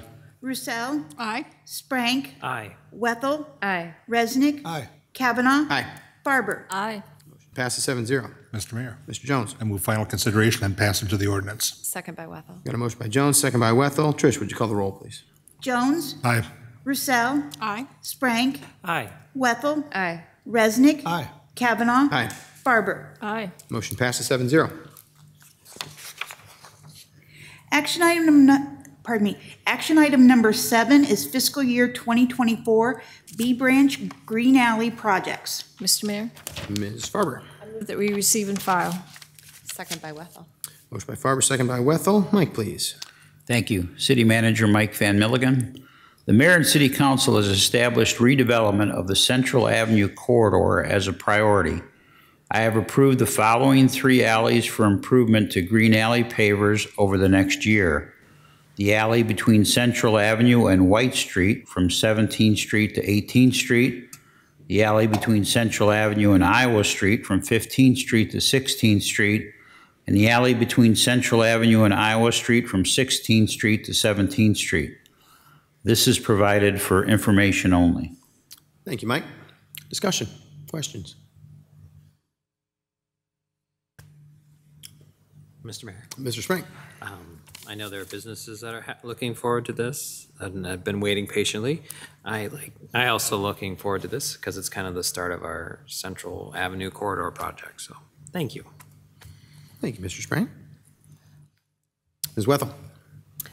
There are a lot of alleys that we need to do, but there are only so many resources to do so. And I appreciate that the folks who are business owners and um, folks that are down on Central Avenue making that place lively and engaging. And it's the future of our city in so many ways that they are advocating so strongly for what they need from the city. And um, I appreciate that we're able to get it done. So thank you to all the citizens who have been so engaging with me, helping me to understand what needs to be done in that area um, so that I can pass that information on to our administrative team and my colleagues. Thank you. Thank you. Mr. Mayor? Yeah, Ms. Roussell. I wondered if, um, if Mike, if you could reiterate for me, what's exactly involved in the green alley? What, what will, what will the, um, residents be seeing? Sure. So um, we removed the existing alley surface. Um, and then also um, we, when appropriate, and in these cases it will be appropriate because of the age of the utilities, um, we replace the uh, water and sanitary sewer utilities that are under those alleys. As a matter of fact, we've done up to this point about 75 alleys through our Bee Branch Creek Restoration Project. And the way I, we identified those first 75 was we first did the ones that didn't have utilities under them because it's a lot less expensive and it doesn't impact all the utility customers, uh, their rates. But we're out of those alleys now, so we have to strategically pick which ones we do. So then after we do those uh, utility replacements, and of course that will involve reconnections with uh, adjoining property, private property owners. Uh, We'll put down uh, pavers, and they're called uh, permeable pavers, not because the pavers themselves are really permeable, but they have a space that's designed between them but by the way they're shaped. And in that space is where we put a rock base underneath the uh, pavers, and then there's a rock base between the pavers, and that's what the permeable part of it is. Now, um, one of the things is, and the mayor and council has been consistent on this, just like when we do a street project, these projects are partially accessible. I remember correctly, it's about 20% of the cost, I think it is, is assessed to the adjoining property owners. So there'll be a whole public process where they'll get noticed and they'll have an opportunity to come and talk to you and you'll have a public hearing and all those things uh, uh, before the actual project happens, hopefully in the spring of uh, 2024. Okay, thank you very much. Well, I mentioned in the last item that we talked a lot about alleys when we had our goals and priorities discussion. And one of the hard truths that we really had to wrestle with was the fact that we just don't have good resources identified to be able to fund projects like this, um, which is difficult for us. I, I literally today, on a walk with my dog, was stopped by a neighbor asking when they were getting a green alley. And I always get those con- those conversations and have to say, I'm sorry, we just we're working on it. But this is this is really challenging. So so Mike and staff, I really appreciate you finding a way to make these projects happen, given the fact that we are focused intently on this area of Central Avenue and this part of downtown right now. I think it is the right move, and I'm looking forward to voting for this, or not voting to move it forward because you made that decision, but I'm glad to see that that decision has been made and that we're, we're going forward with it. And we'll continue to look for ways to improve the alleys, which really are kind of roadways for a lot of us uh, throughout the city in the years ahead. All right, motion here is to receive and file. Trish, would you call the roll, please? Jones? Aye. Roussell? Aye. Sprank? Aye. Wethal? Aye. Resnick? Aye. Cavanagh? Aye. Farber? Aye. Motion passes 7-0. Action item number eight, rebuilding America's infrastructure with sustainable and equity, also known as RISE Infrastructure Planning Grant uh, Consultant Selection. Mr. Mayor, Mr. Jones, I move to receive and file and approve. Second by Wethal. got a motion by Jones, second by Wethal. Mike, please. Thank you. City Manager Mike Van Milligen. Assistant City Engineer Bob Schiesl is recommending City Council approve the selection of AECOM Technical Services as the professional services consultant to complete the engineering design and NEPA environmental study phase to advance development of the Rebuilding America's Infrastructure with Sustainability and Equity, or RAISE, Infrastructure Planning Grant for the project entitled Building Bridges to Employment and Equity, B2E2. The city was awarded a U.S. Department of Transportation, or USDOT, RAISE Infrastructure Planning Grant, which will provide for the planning and design of a multimodal transportation corridor project for proposed improvements to the Elm Street Corridor, the 16th Street Corridor, the Kerper Boulevard Corridor, Chaplain Schmitt Island Corridor, and the proposed 14th Street Railroad, vehicular and pedestrian overpass bridge project. The RAISE Infrastructure Planning Grant proposes a project entitled Building Bridges to Employment and Equity, or B2E2.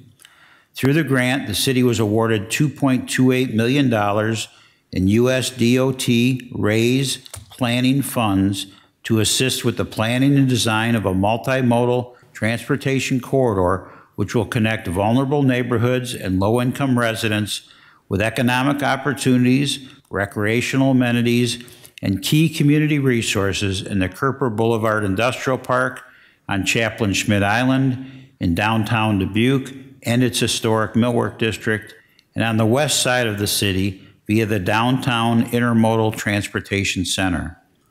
The project will also focus on multimodal transportation corridors with complete streets and proposed roundabout intersections along Elm Street and 16th Street corridors.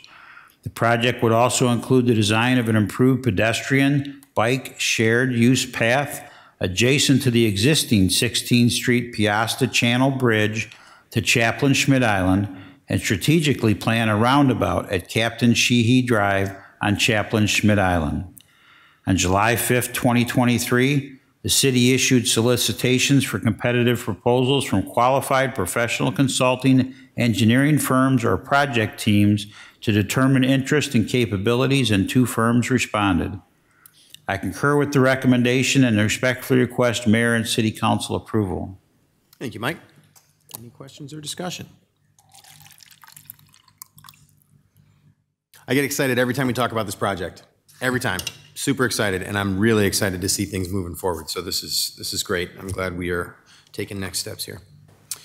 Motion is to receive and file and approve. Trish, would you call the roll, please? Jones? Aye. Roussell? Aye. Sprank? Aye. Wethal? Aye. Resnick? Aye. Cavanagh? Aye. Farber? Aye. Motion passes 7-0. Action item number nine is Bee Branch Stormwater Pumping Station, Phase Four of the Bee Branch Watershed Flood Mitigation Project. Mr. Mayor, Ms. Roussell. I move to receive and file and adopt the resolution. Second by Sprank. Got a motion by Roussell, second by Sprank. Mike, please. Thank you. City Manager Mike Van Milligen. Civil Engineer Deron Muehring is recommending City Council adoption of the attached resolution pledging local matching funds in the amount of $19,012,000 for improvements associated with the Bee Branch Stormwater Pumping Station Project, Phase 4 of the Bee Branch Watershed Flood Mitigation Project. I concur with the recommendation and respectfully request mayor and city council approval. Thank you, Mike. Questions, discussion? Mr. Mayor? Yeah, Mr. Resnick. Yes, um, so how many phases do we have of the Bee Branch Stormwater Project? Darren, that sounds like a question for you. And while you're uh, coming up, could you tell me how much the, uh, the figure is that our matching is $19 million? And, and what are we getting for our $19 million? Like a $100 million?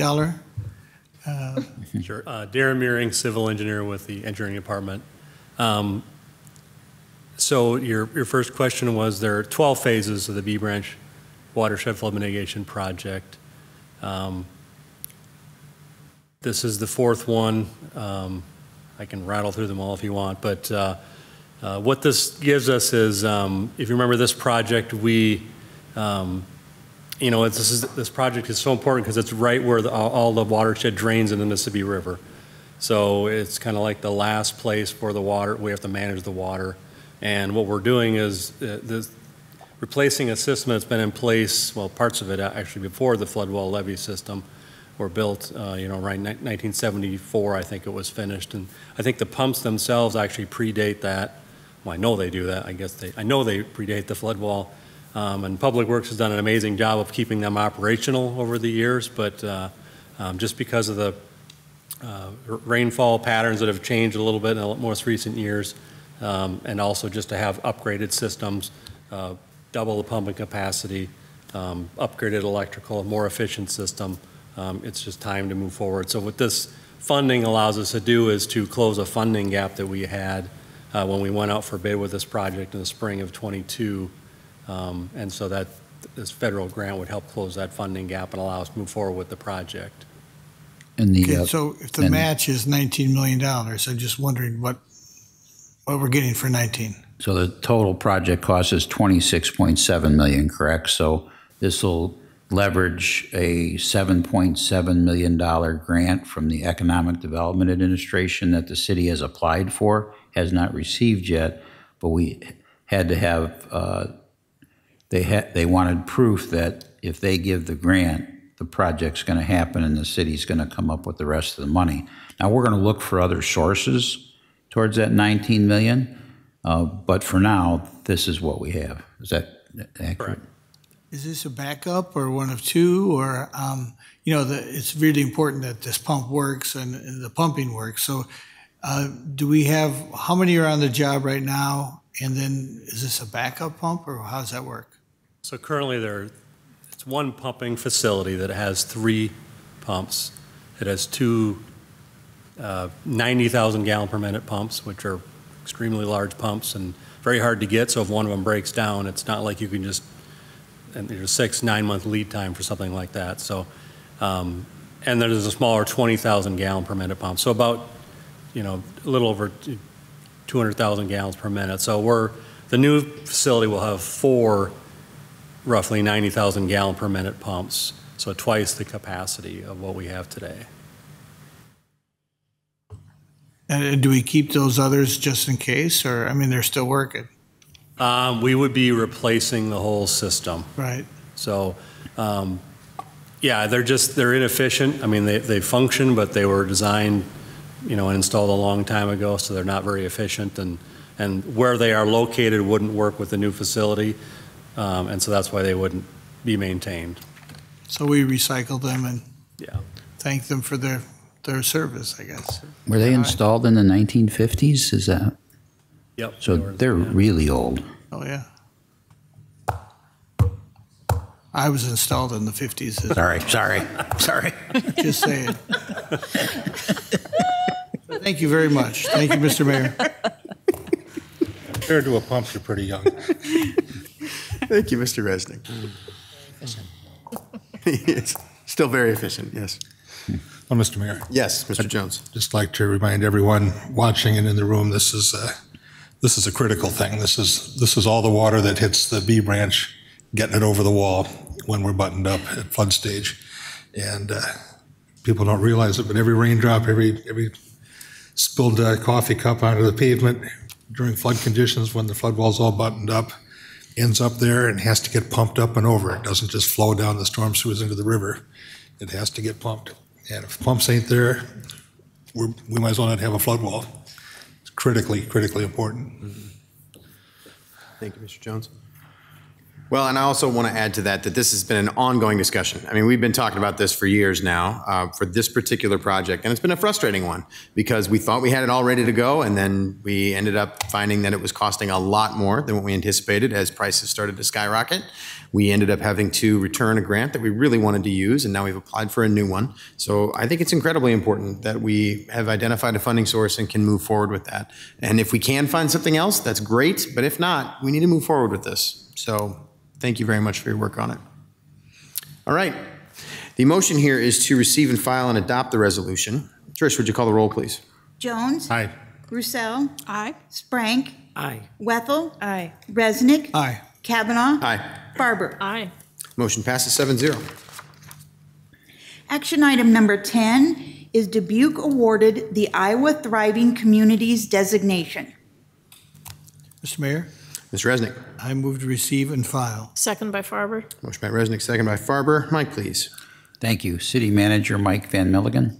Housing and Community Development Director Alexis Steger is recommending City Council receive and file the attached documentation recognizing the award from the Iowa Finance Authority as a thriving community, clarifying the benefits of the designation and encouraging developers to pursue housing projects in the Central Avenue corridor area.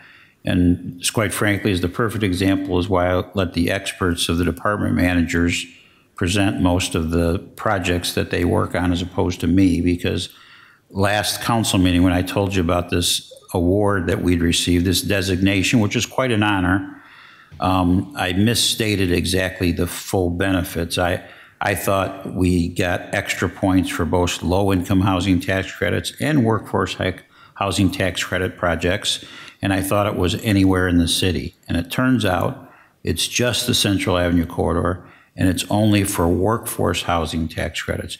Both great things, but I kind of didn't exaggerate last time. I just was miss, I, I misspoke.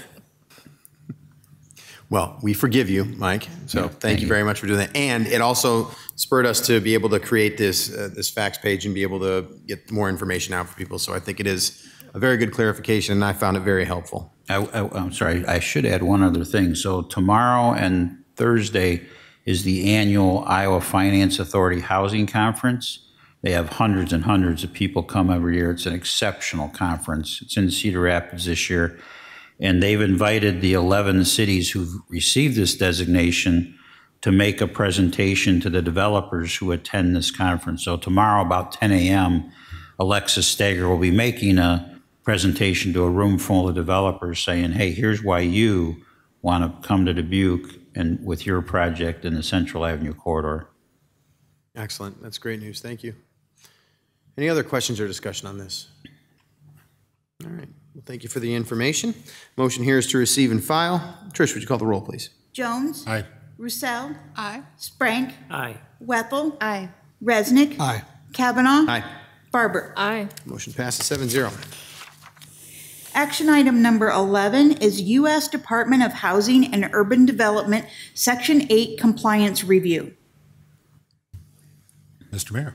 Mr. Jones. I move to receive and file and approve. Second by Got a motion by Jones, second by Wethal. Uh, Mike, please. Thank you. City Manager Mike Van Milligen. Housing and Community Development Director Alexis Steger is recommending City Council receive and file the U.S. Department of Housing and Urban Development Compliance Monitoring Review and approve the city's response to the findings in the review. I concur with the recommendation and respectfully request Mayor and City Council approval. Thank you, Mike. Any questions or discussion?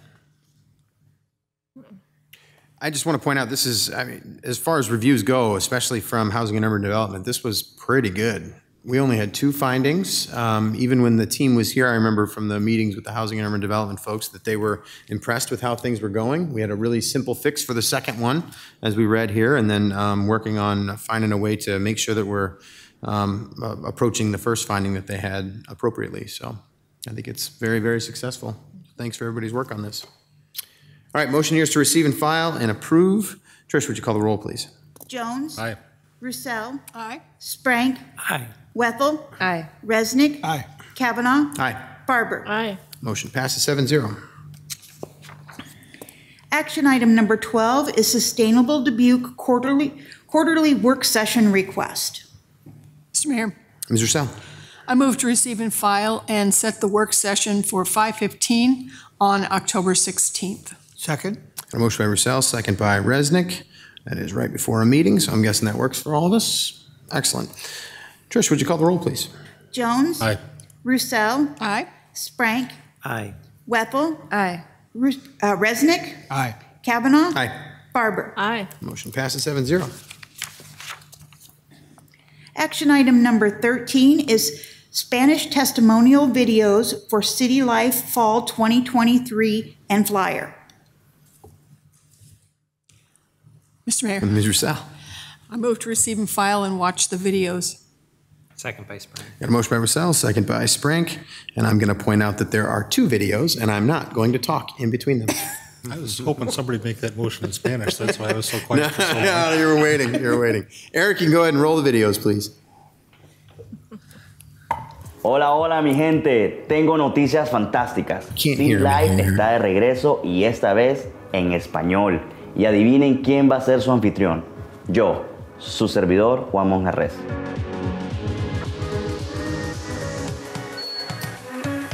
City Life es un curso interactivo, divertido y gratis que la ciudad de Dubuque provee para que aprendamos más de cómo nuestro gobierno local funciona. Juntos vamos a comer comida local y vamos a aprender todo sobre los servicios y departamentos que hacen Dubuque un lugar grandioso para vivir. Hace varios años, cuando me mudé a la ciudad de Dubuque, sentí la necesidad de saber cómo el gobierno local funcionaba. Quería saber qué tipo de servicios la ciudad de Dubuque proveía, cómo funcionaban los diferentes departamentos en la ciudad y también cómo los fondos de la ciudad eran distribuidos. Así que por medio de este programa fantástico que se llama City Life. Por medio de City Life aprendí eh, los diferentes eh, servicios y diferentes herramientas que la ciudad de Dubuque provee para mejorar la ciudad y para también hacernos ciudadanos más proactivos. Eh, por esa razón decidí esta vez eh, ser el anfitrión de este nuevo City Life eh, versión en español. Así que porque quiero ahora compartir este conocimiento que adquirí hace varios años con mis ciudadanos latinos aquí en Dubuque. No te pierdas esta increíble oportunidad de ser parte de City Life. Apunta la fecha y asegura tu lugar hoy, Checa más detalles en la website cityofdubuque.org slash citylife. Mi gente, ya quiero verlos a todos. Esta vez va a ser divertido, informativo y caliente. Not working tonight? Okay. Maybe we stop before the second one here. We can throw this on the next, the next agenda so we can make sure that everybody in chambers and, and at home for sure can hear this. I do, I will point out, um, you know, there is a YouTube link on here for everyone to be able to watch this, and this will be put out through all of our social media accounts. But let's try that another night too. Uh, are we going to have the same issue with the next video as well? Let's give it a try. We could give it a try? Okay. So, um, I'm sorry to have to ask a process question, Greta, but do, can, do we have to go through with this motion or can we just move along? I- Well, I think you can just uh, adjust it to say receive and file and add to a future agenda. Okay. Ms. Roussell, would you care to make that motion? So moved. Okay. Well done. Mr. Sprankle, second. Okay. Trish, would you call the roll, please? Jones? Aye. Roussell? Aye. Sprank? Aye. Wethal? Aye. Resnick? Aye. Cavanagh? Aye. Farber? Aye. Motion passes seven zero. So we can try the next one here if you want to move forward with that. Mr. Mayor? Y- uh, Yes, Ms. Farber. I Oh, move- wait, actually, oh, let's let sorry. Trish read first, sorry. Sorry, sorry. Action item number 14 is Dubuque Police Department School Resource Officers 2023-2024 video. Ms. Farber. Yes, I um, move to receive and file and hopefully view the video. Second. Motion by Farber, second by Resnick. Eric, we can give this one a try when you're ready.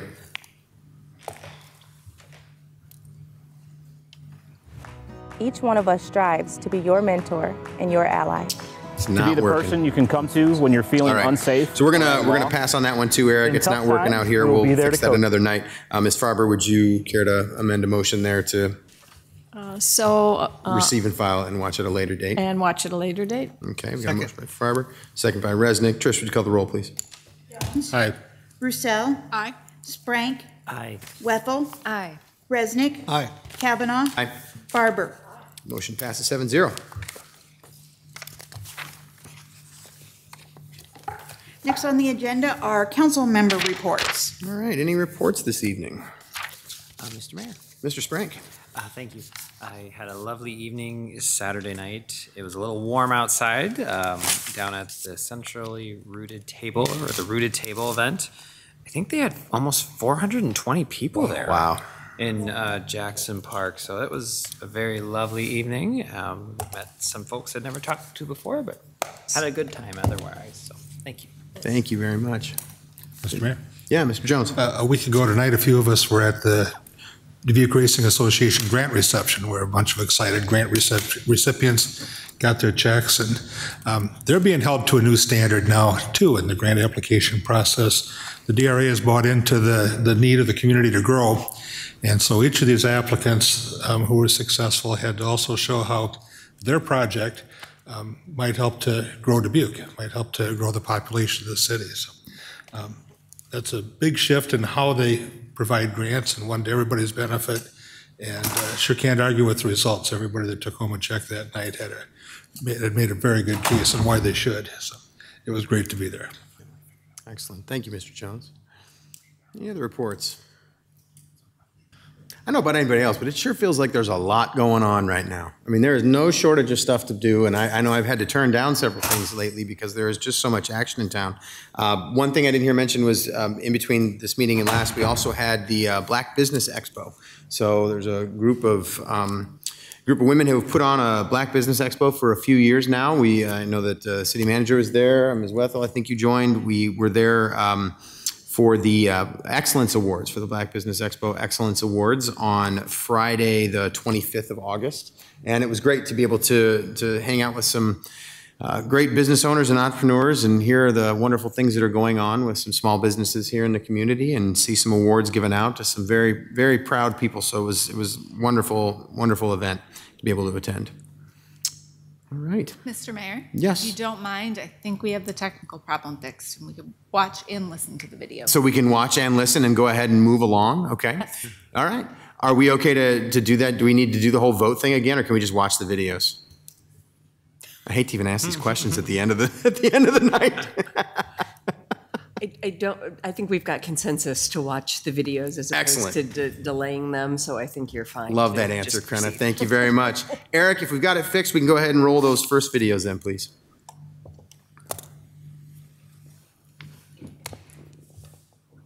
Hola, hola mi gente, tengo noticias fantásticas. City Life está de regreso y esta vez en español. Y adivinen quién va a ser su anfitrión. Yo, su servidor Juan Monjarres.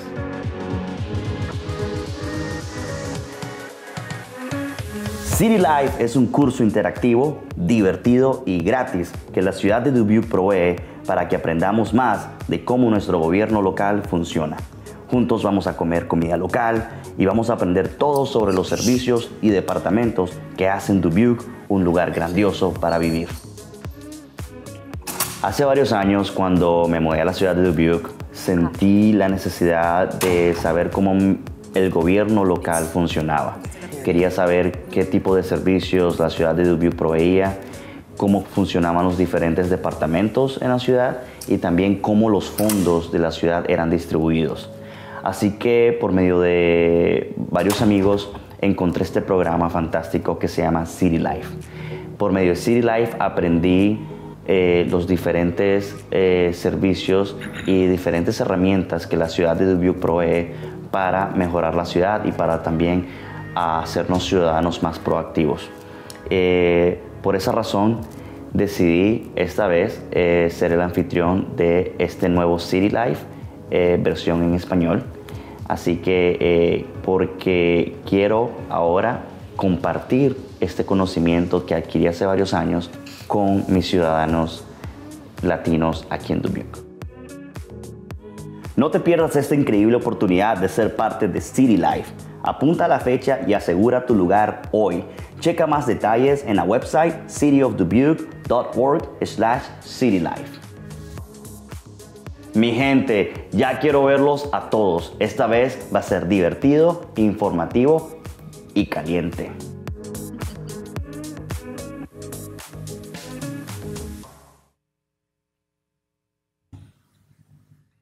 Hola, ¿estás ansioso para saber más de nuestra ciudad? Bienvenidos, me llamo Luz Elena y esta vez City Life regresa en español.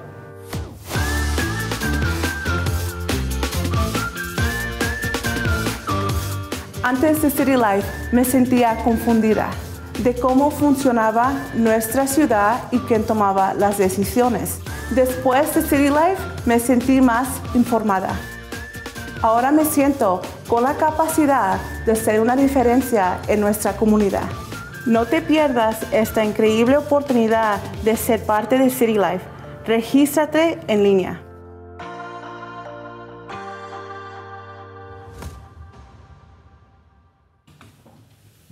Well, cool. Gracias a Juan and Elena. Those were great.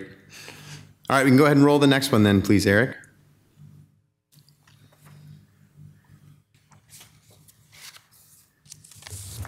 Each one of us strives to be your mentor and your ally.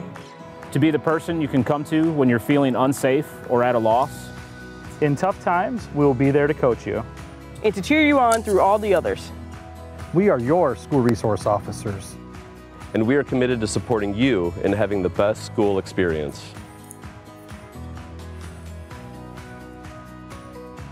Hey, Dubuque Community Schools. My name is Bruce Deutsch. I'm a supervising lieutenant for our school resource officer unit. So I've been a lieutenant with the police department for the last five years. I've been an officer for approximately 22 years. I've done everything from investigations to patrol supervisor.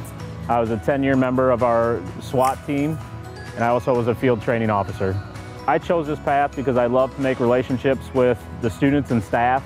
I have family that work in education. I felt like this was a natural fit for me. What I want people to know about me is I'm a pretty funny guy outside of work. I love my family and I love to play golf. I love uh, meeting new people, making friendships with the new students and staff, and reestablishing old friendships from the years prior. We hope every day is a great day for students and staff. I'm School Resource Officer Marzetti. I'm originally from Wisconsin. I have been with the Dubuque Police Department for seven years. I chose to become a school resource officer because I remember being your age and not having anyone to go to. I also love working with children.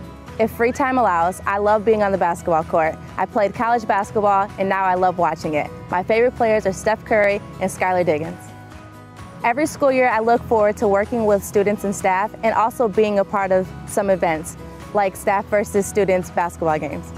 I just want you guys to know, whether you're students or staff, that I'm always here for you. I'm School Resource Officer Brandon Goodentoff, but you can call me Officer Brandon. Sometimes I get asked, what do I do as a school resource officer? Well, it's my job to keep school the safe place that it is and to teach you some of my favorite safety lessons. During the school year, don't be surprised if you see me cheering on my favorite football team. Can you guess what that is? No matter what team you cheer for, just know that I will always cheer for you. I'm School Resource Officer Sade Pointer. I chose to become a school resource officer because I want to help you achieve your goals inside and outside of the building. What I want you to know about me is I love sports, I love to eat, and I have a hidden skill. Every school year, I look forward to getting to know my students. Feel free to always come to me if you ever have any questions, want to chat, or you just want someone to listen to you. I'm School Resource Officer Jason Horner, and I'm also your sixth grade DARE officer with my friend Daren. Every year, me and my friend Daren enjoy seeing all of our students so we can help teach you how to make good choices and be a good citizen. A little spicy unknown fact about me is that every summer I like to grow thousands of jalapenos in my garden so I can make a lot of different things with them. Every school day, I hope you can make good choices, be the best that you can be, and be a positive leader. I'm School Resource Officer Mark Lorenzen. Born and raised here in Dubuque. I went away to college, but came back to Dubuque because I love it so much. I fell into law enforcement kind of accidentally. Um, I went to college to become a teacher, um, and I ended up teaching with the Dubuque Community School District for about four years. I looked into law enforcement because I always thought police officers were, uh, were really cool people when I was a little kid. Now I'm enjoying life working as a police officer in the schools here in Dubuque. Once I settled into my uh, career as a police officer, I, I enjoy other passions of mine. One of those is long endurance races. They've not only been good for my health, but taught me a lot of lessons about life. Just know that I'm somebody you can always come to about anything. It doesn't have to be a problem, uh, it could be advice, it could be whatever you want to talk to me about. Um, and if it's not something I, I, can help you out with, we'll definitely tackle it together. I look forward to whatever challenges come uh, to our plate this whole school year, and I look forward to getting to know every one of you even better. Know that you can come to any one of us at any time for anything. Concerns, issues, or something to celebrate. We are ready to be there for it all. So you can focus on school, your friendships, but most importantly, you.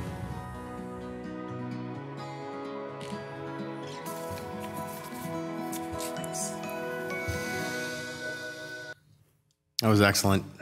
I really appreciate our SRO program and the, the officers that serve there. So it was a great video to be able to show everyone who they get to work with. All right, well, we already voted on those two items. We've had council member reports. So I see we have a closed session. Before the yawn set in too much, we're gonna, I'll take a motion on that. I'll move that the city council go into closed session in accordance with chapter 21.5 of the Code of Iowa to discuss purchase or sale of real estate. Second? Got a motion by Jones, a second by Resnick this time. For the record, the attorney that the city council will consult with on the issues to be discussed in closed session is City Attorney Crenna Brumwell. Trish, would you call the roll, please? Jones. Aye. Roussell. Sprank. Wethal. Aye. Resnick. Aye. Cavanagh. Aye. Farber. Aye. Passes seven zero. We are in closed session.